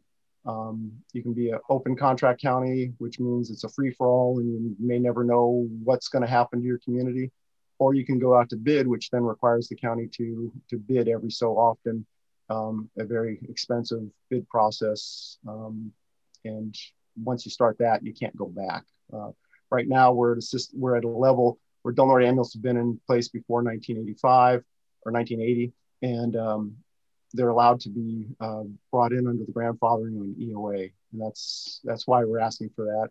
Uh, we're working on it. We're not quite there yet, making sure there's a lot of paperwork. There's a lot of hoops we got to jump through before we can submit it to, to you. We just let Larry know that we were looking at it um, to do our due diligence on it to make sure it's something that we can do effectively. And, and uh, it's taken them, I think, three years and they're still not quite done with the Humboldt process. So um, he's asked us to hold off until they get their process done. But um, once we get there, we'll go ahead and uh, you know, look at bringing an application forward to you. All right. Well, thank you very much, John. I apologize for all the questions, but uh, that'll that'll do it for me. I appreciate your your answers. Thank you. You know, I want to uh, jump in just for a minute and attest to the high level of service that uh, and quality of service that they have. Recently, I had to uh, take advantage of Del Norte Ambulance and they flew me from Crescent City all the way to more Portland, Oregon, OHSU. There were three people on board. Every one of them was really interested in how I was doing and how they could help me uh, in in that particular particular fight. So yeah, I never uh, had thought about Del Norte Ambulance very much in this case, it was a, a real lifesaver. Thank you, Bob. I, I, wish we could tell more stories about that trip, but federal law prohibits it. So we, we, we, can't confirm nor deny that we actually uh, saw you. So. Thank you. Very good. Um, Kylie, if you're with us there, could you please open it up for public comment? Yes, Chair. I'm just going to give it a couple seconds. Okay, no problem. Thank you guys again for joining us today. Uh, we don't usually get this engaged, but there's a tremendous amount of interest right now in, in what you do and the service you provide. So really appreciate your time and attention to those questions. Glad Chair, there are no you. hands raised online. Thank you, Kylie. Okay. I thank you. And, and again, I understand ambulance is one of those things that nobody wants to think about until they need it. Then they wanted it 10 minutes ago. So um, I, I get it. Um, and again, thank you for letting us come and uh, share what we're up to and, and how we're going to improve in the future. You bet. Okay. Thank you again, John and Ron. See Thank you guys. Okay. All right. We're going to go ahead and move forward with our general government items at this time. Item number 14 is discuss and give direction to cast official ballots for or against Crescent Fire Protection District special assessment as requested by County Counsel. Uh, Joel, why don't you take it from here? Yeah, um, so the fire district is doing a special assessment, and the county, as a property owner, gets to vote. Um, unlike most taxes, public property is not exempt from a 218 tax, the special assessment. Um, so it's a little unusual to be voting, but uh, here we are. So there's five parcels. They're weighted a little bit differently. Four of them are 1.1 benefit units, and one of them is three. So there's actually 7.4 weighted votes on the five. Um, you know, it just happens to be five. It's not like each board member gets one. Um, so unless the board for some reason wanted to say yes to some and no to others, I would say a motion for all five, yay or nay, would be appropriate. Um, I, I'm sorry, Bob. I heard like Bob make say that he- he's making a motion there. Oh, okay. Well, yeah, if there's any questions, I can answer them. If not, Okay. jump in. We do have a motion on the table. What's what is the motion? Bob, could you clarify for Supervisor Hemmingsen, please? Uh, yeah, this is the direction to cast official ballots for the Crescent Fire Protection District. Yes or no? Yes, Okay, that's what I wanted to know. you got it. I'll second that. Thank you, Supervisor Hemmingsen. Um, let's go ahead and open it up for public comment.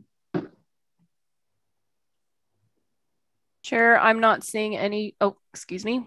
One moment. Bill, you are on. Yes, Thank you. And thank you to the, the board. This is Bill Gillespie, Fire Chief for uh, Crescent City Fire and Rescue, which is the fire department that serves both Crescent Fire Protection District and the Crescent City Volunteer Fire Department under agreement. And I appreciate appreciate you know the board taking the time to consider this. Uh, it's one of those one of those things that the the fire protection district's been in in service since 1949 protecting the the greater crescent city area or surrounding the city um, through those years you know the the fire protection district receives a small amount of income or revenue from property taxes. And then in 1987 and again in 2006 established uh, benefit assessments. Um, the 2006 benefit assessment was specifically for the purchase of three apparatus equipment to outfit those and those all three of those remain in service today. In fact we've just paid them off at the district but that that assessment sunsets this coming fiscal year which essentially takes crescent fire protection district back to a 1987 revenue level. And the the combined combined response out of out of your fire department in the greater crescent city area last year was 2057 calls for service. And that's out of a, a majority volunteer fire department. I'm the only paid member of the department um, that's here responding. The balance is volunteers. You know we respond to the fires we respond to all of those other calls that there is really no entity to respond to. Gas leaks, hazmat leaks, power lines, a little bit of everything. And then we also respond in conjunction with our local ambulance uh, to emergency medical services calls. Um, often, because of where we're distributed, we do get on scene sooner in that in that case, and we're able to start helping our community members. You know, without without this assessment being able to go forward, the the assessment amount that, that the district loses is about $110,000 starting next year. So this assessment has a goal to try and try and raise approximately 421,000. The balance of that is in, is is earmarked to work in conjunction with the recommendations of the 10 year fire department master plan that was conducted between the district and the city that really spelled out the the needs service needs for our community as we go forward you know including using this funding in conjunction with funding that the city will provide toward establishing a volunteer staffing program where we do have a staffed fire engine out of the Washington Fire Station, eventually bringing on three paid firefighter positions phased in one at a time over the coming years to help bolster that volunteer staffing program, bolster training, um, actually putting money aside to start building a vehicle and equipment replacement reserve fund.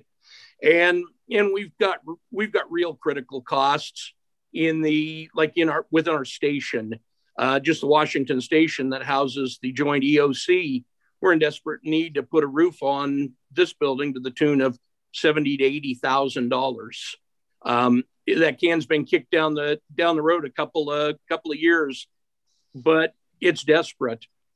What it means if it doesn't prevail, if it if the assessment this time doesn't pass, and I say this time because we also went out last fall with an attempt. Uh, that, that assessment attempt did not prevail. It missed by 23 votes.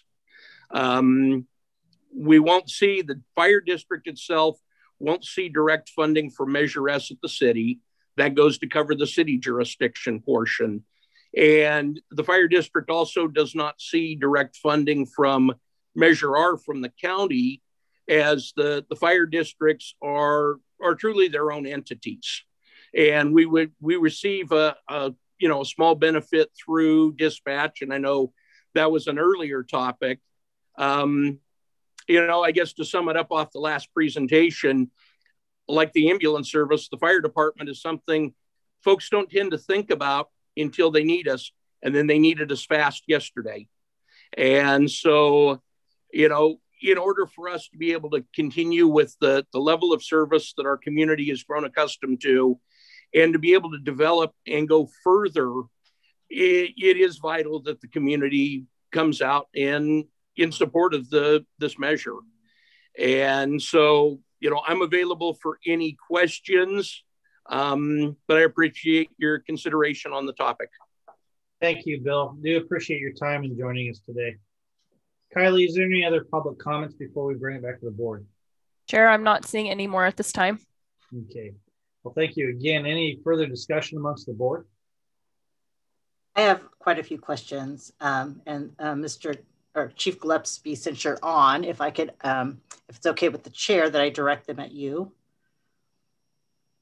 Absolutely, I'm here. Is that okay, Chair Howard? Oh, absolutely, Supervisor. Okay. Um, so I've given this so much thought, and, and so I do have some questions. They're not meant to be gotcha. I just want some clarification. Mm-hmm. Um, so the the city um, pays, or the district pays to the city four hundred one thousand six hundred fifty four dollars. What's included in those services? Okay, so those those services fall under a shared services agreement between the district and the city. Um, currently currently some of those things that come from that that amount the district pays to the city the the district pays half of the cost for the fire chief half the, the salary and benefited cost for the fire chief and our administrative assistant the city pay, pays for the the other half um, that amount that goes across. Also we've got a a shared equipment purchasing agreement where the costs are split between the city and the fire district for general tools, equipment, uh, the equipment that's needed to maintain the, the equipment on the fire engines, um, fire hose, that kind of thing, the medical equipment that we have to purchase um, because we don't have a we don't have a means or a method to really to to bill at this point for like oxygen, things like that. We're at the same mercy. The truck comes up from Eureka with oxygen bottles for us. But we share those costs. We share a lot of, we split a lot of costs on maintenance. Um, ladder testing has to occur every year, pump testing has to occur every year. Um, we go. Yeah, we go through and share a lot of costs that way, and it cuts down on a lot of redundancy. Okay, yeah, it's just it's, it's um, highlighted as professional services. So I was just Yeah. was curious what the professional services are. There is operations and maintenance and and equipment lease, but I just I wanted just some clarification what the services were, and you answered that. So thank you. Absolutely.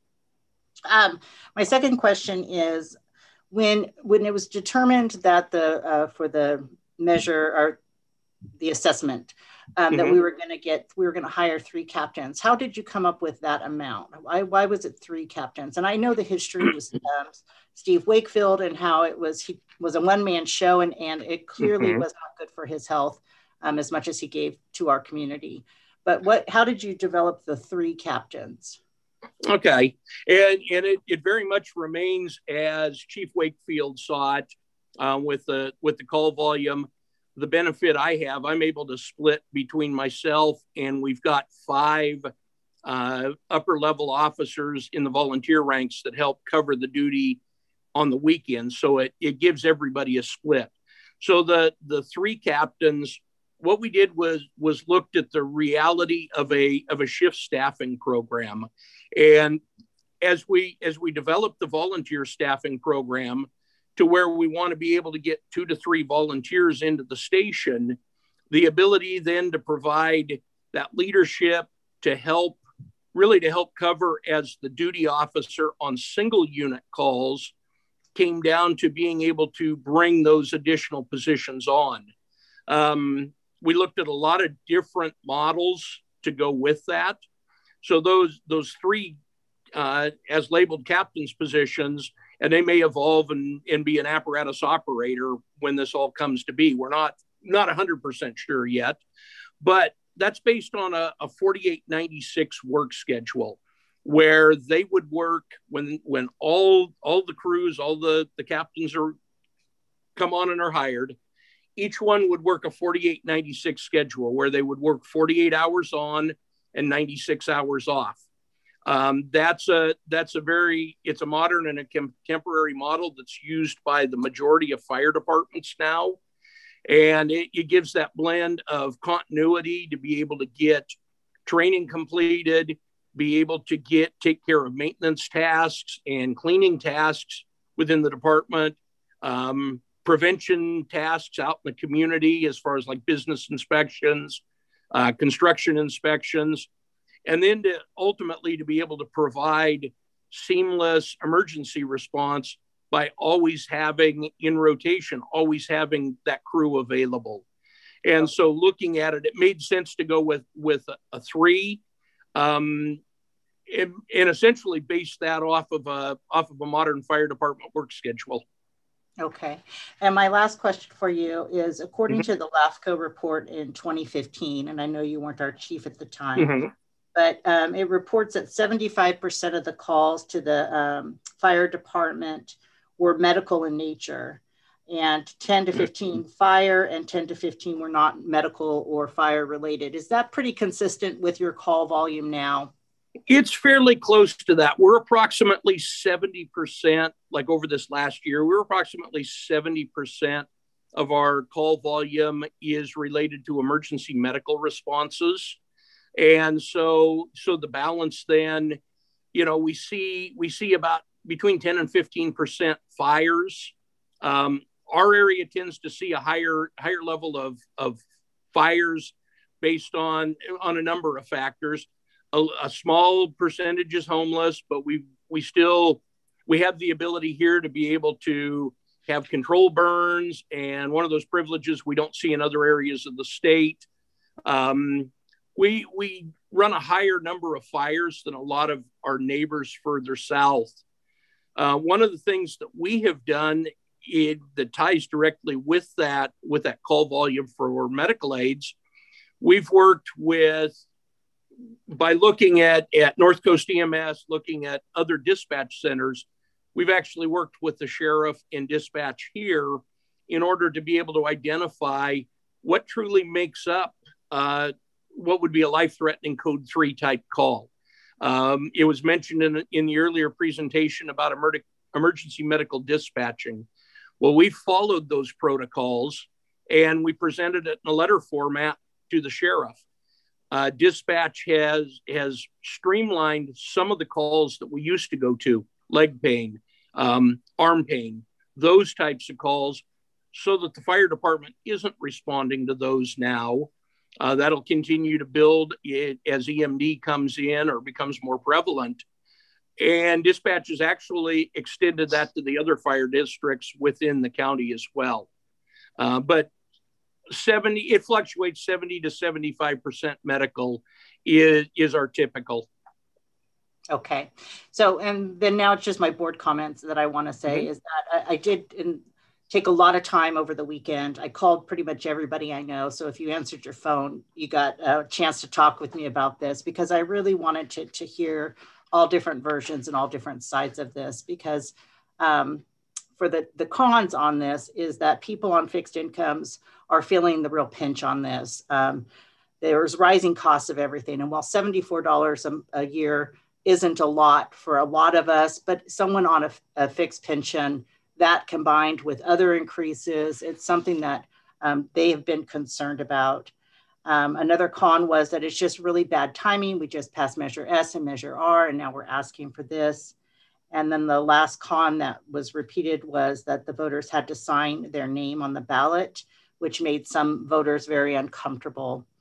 Um, but I weighed all that out with the pros. And the pros on this is that we are one of the last uh, uh, counties that have a volunteer fire uh, system. And if we are not able to sustain that and keep them equipped with all the um, apparatus and things that they need, it's possible that that may go away. And if that's the case, then we're going to have to come up with ways to have a fire department and the cost that that's going to entail. Um, ultimately, every person that is in my district, for the most part, that owns a house will be able to vote on this individually. So I don't feel that my collective voice needs to um, actually um, have that considered there. And my primary concern for this community is safety and the services that could be reduced um, if we have to reduce the, the fire uh, department's response is something that would be very, um, that would concern me for the safety. And the Board of Supervisor really needs to balance out the safety of, of our citizens. So for that reason, I'm going to be voting yes.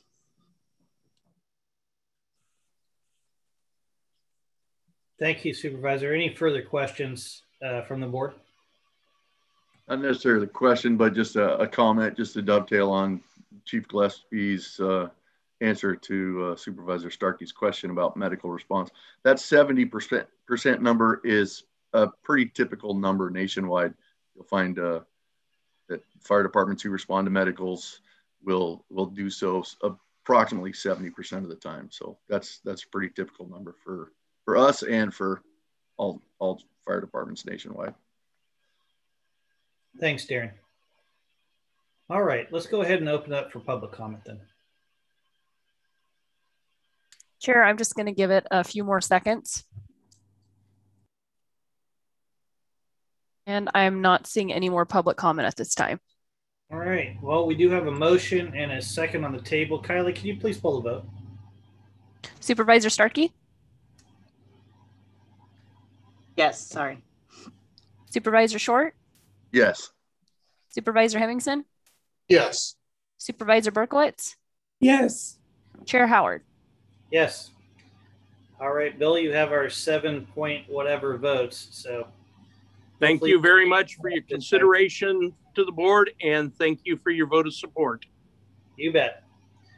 All right, let's go ahead and move on with item number 15 on our agenda, which is approve and authorize the Community Development Department to issue a request for proposals for a local roadway safety plan as requested by the Assistant County Engineer. Rosanna, you're on.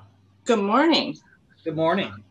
So we have the local roadway safety plan, which is a planning level document to determine our community's needs. It's it's very similar to the systemic safety analysis report we completed in 2019. Um, but as we wrapped up our systemic safety plan, the funding source changed the planning document that they wanted to utilize for the Highway Safety Improvement Program. So we're essentially doing a very similar plan to what we completed in 2019, um, establishing our needs as a community, reaching out to stakeholders, looking at collision data, and then coming back with a document to apply for future safety funding. So it's unfortunate that we have to do a very similar process again. Hopefully we'll get more out of it this time and we'll have a better document. Um, but yeah, it's, it's very similar to what we've done before. Does this overlap at all with uh, planning documents like Del Norte Local Transportation Commission go through for our community? It's similar. It, it's it's I don't know that it's specific to to Highway Safety Improvement Program. That's where the funding comes from, and that's what the document helps to inform when we're applying for grant funds. Likely, we could use this document for other funding sources, but it is tied directly to the Highway Safety Program. Yeah, I, I know when we just recently went through the, the obviously the regional transportation planning efforts, a lot of county infrastructure is identified in that process. So just just curious how much overlap there is. Um, who was the contractor during the last planning process? Um, I think it was TJKM. Okay, thank you, Rosanna. Mm-hmm. Any questions from the board? Okay, let's go ahead and open it up for public comment. Chair, I'm not seeing any public comment at this time. Okay. Mr. Chairman, move, move for approval. Thank you, Supervisor Hemmingsen. Second. Okay. Thank you, Supervisor Short. All right, Kylie, please poll the vote. Supervisor Berkowitz? Yes. Supervisor Starkey? Yes. Supervisor Short? Yes. Supervisor Hemmingsen? Yes. Chair Howard? Yes. Thank you. All right, we're going to go ahead and move on with uh, budget transfer items at this time. Uh, items 16, 17, 18, and 19, which is uh, budget transfer item 05-10 in the amount of 32,000 with the miscellaneous revenue and expenditure budget unit and item number 05-12 in the amount of 81,500 within the jail budget unit. And then item number 05 13 in the amount of $15,000 within the agricultural budget unit. And item number 05-15 in the amount of 48,500 within the mis miscellaneous revenue and expenditure budget unit assessment. Mr. Chairman, I would move that we approve budget transfer 05-10, 05-14, 05-12, 05-13, and 05-15. Second. Chair, can I just make a clarification, please? On item number 19, there is another two budget transfers within the item. There's number 0516 and number 0517. Can I just get um, Supervisor Hemmingsen to clarify that motion that they're included? Oh, sorry about that. Yes, 0516 and 0517. Thank you for that uh, clarification, Supervisor. I missed those two. Thank you, Kylie. So um, do we have a second? Yes. Second. Okay, thank you, Supervisor Berkowitz. All right, let's go ahead and open up for public comment. Chair, I'm not seeing any public comment at this time. Okay, appreciate it. We'll bring it back for a poll vote. Supervisor Short? Yes. Supervisor Starkey? Yes. Supervisor Berkowitz? Yes. Supervisor Hemmingsen? Yes. Chair Howard? Yes. All right, um, we have two items uh, left on our agenda. I want to just take a quick uh, temperature here. Does anybody need to take a quick five minute break or do you guys want to move forward? Okay, let's move forward then. Item we number also have, we also have consent as well. Sure. Uh, thank you, Darrin. Appreciate you taking taking note of that. I'm sure Kylie would have caught it and uh, I'm sure she would have given me a whack-a-mole on the head on that one. It's been simmering. Let's go ahead and with item number 20, which is approve the public safety realignment plan for fiscal year 2021 22 22 as requested by the Community Corrections Partnership Chairman. Good morning, board. Good morning, Lonnie. Thanks for joining us today. You're very welcome. I will try and keep this brief. Um, so annually, the Community Corrections Partnership um, puts together a plan and a budget for uh, spending of the allocation that we receive uh, for AB 109 for public safety. Um, you have that report in front of you. Programmatically, really very little has changed from last year to this, except for the fact that we hope to actually implement things um, more effectively this year without a pandemic hanging over our shoulders. Um, so program wise, as far as probation goes, um, DHHS, behavioral health, uh, the sheriff's office uh, holding PRCS 199 uh, offenders and others in custody, very little is, is going to change. We are seeing our budget, uh, our allocation coming in, our revenue going down slightly. Um, it's pretty stable uh, in comparison with last year. I think there's about a $30,000 difference. Uh, we are not getting growth funding because of the budget issues that the state is looking at right now. But locally, we should be able to cover our costs, uh, continue operating and um, the programs that we have been doing, and uh, continuing operations there. Um, the partnership has uh, voted on the 13th of this month and approved the plan, and the budget comes to the board for your approval as well. Uh, this is typically encapsulated in each department's budget that you uh, are looking at through the budget process. So each agency, Sheriff's Office, Probation, DHHS, DA, Public Defenders, all of those have already incorporated these funds in their uh, individual budgets as well. Okay. Thank you, Lonnie. Questions for Lonnie at this time? I just appreciated how thorough the report that you gave us was. I I didn't have any questions, which is always surprising. So. Move yep. to approve the plan. okay, we have a motion on the table. Second. Thank you, Supervisor Berkowitz. Uh, Kylie, let's open it up for public comment. Chair, I'm not seeing any public comment at this time. Okay, we'll bring it back to the board with that motion a second. Can you please poll the vote unless there's further discussion? Okay. Supervisor none. Hemmingsen? Sorry. Yes. Supervisor Starkey? Yes. Supervisor Berkowitz? Yes. Supervisor Short? Yes. Chair Howard? Yes. Thank you for joining us again, Lonnie. Have a great afternoon. You as well. Thank you. All right. We're going to go ahead with uh, one of our last items here, which is our item number 21, fiscal year 2021 22 budget update from our CAO, Neil Lopez. Neil, you're on. And on mute too.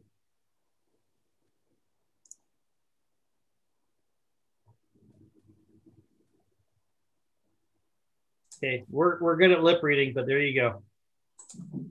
Now you got it.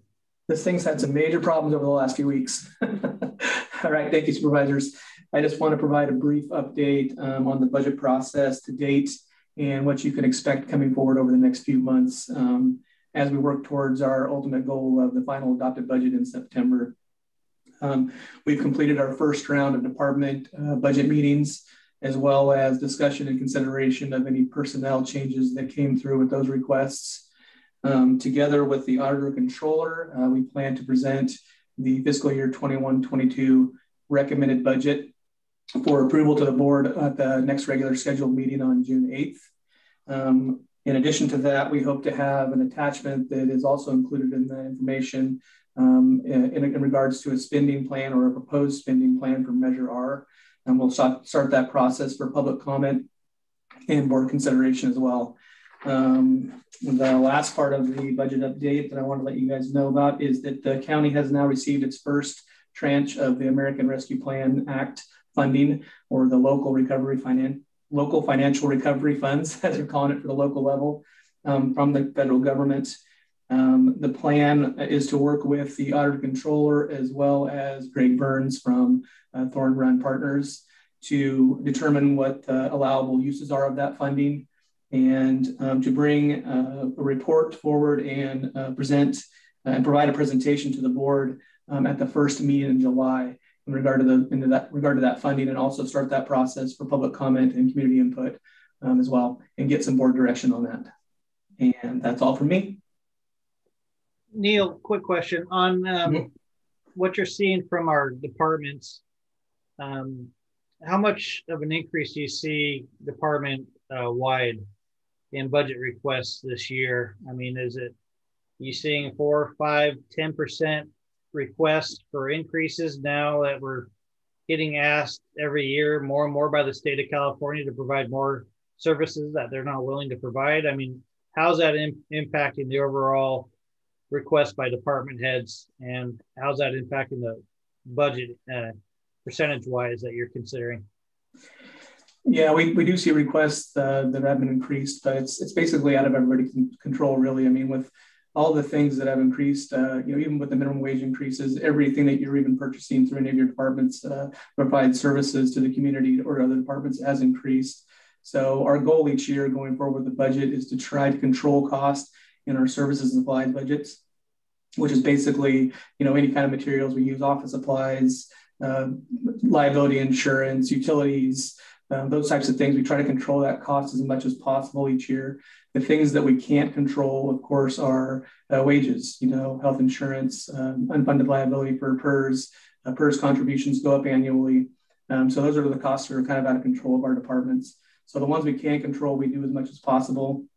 We try to, you know, generate revenue where, wherever possible and make expenditure cuts wherever possible. But we have to do it and still be able to provide uh, services to this community. Yeah, I, I know, Neil. I'm, I'm, glad you brought that up because I believe uh, you have and, and, have looked at for now a length of time, um, trying to provide the board with some solutions on that unfunded liability. And obviously, under these state investment scenarios with CalPERS, the county's been paying a tremendous penalty for that unfunded liability of about seven percent per annum when they don't make their uh, when they don't make their number, and that's a huge hit to us. Um, I'm kind of curious, where are you at with um, trying to find some alternatives for the county to consider um, moving forward? Because uh, obviously, it's not sustainable. Well, we took the first big step towards that when the board approved the agreement with the California Municipal Advisors. Um, we have, uh, we're trying to do a poll right now of the financial management committee members to set up a first meeting with CalMuni and start that discussion about uh, developing a pension uh, policy. So um, it's a pension funding policy and will be uh, to where everybody's kind of on the same page. The board is going to be aware of the current unfunded liability and there will be some uh, difficult decisions to be made. Yeah, no, I, I, appreciate that, Neil, and I I did want to repeat that it is uh, part of an annual consideration for us, and uh, I think this board's going to be faced with a, a, task here in the next year or two to really make some tough decisions. So I appreciate you re reiterating that. Yeah, uh, definitely. Thank you. Yeah. Other questions for Neil at this time? Okay let's go ahead and open it up for public comment. Chair, I'm not seeing any public comment at this time. Okay, well then we'll circle back to the board and uh, Neil, appreciate that update for that uh, fiscal year 2021-22 budget. No problem, thank you. Okay, let's circle back to the last item on our agenda. Thank you, Mr. Short, which is items one through nine on our consent agenda. Is there a motion that uh, anybody's ready to make? Move to approve consent. Okay, we have a motion and a second on the table. Kylie, any public comment? Chair, I'm not seeing any public comment at this time. Okay, very good. We'll go ahead and bring it back to the board for a poll vote. Supervisor Hemmingsen? Yes. Supervisor Berkowitz? Supervisor Berkowitz, I think you're muted.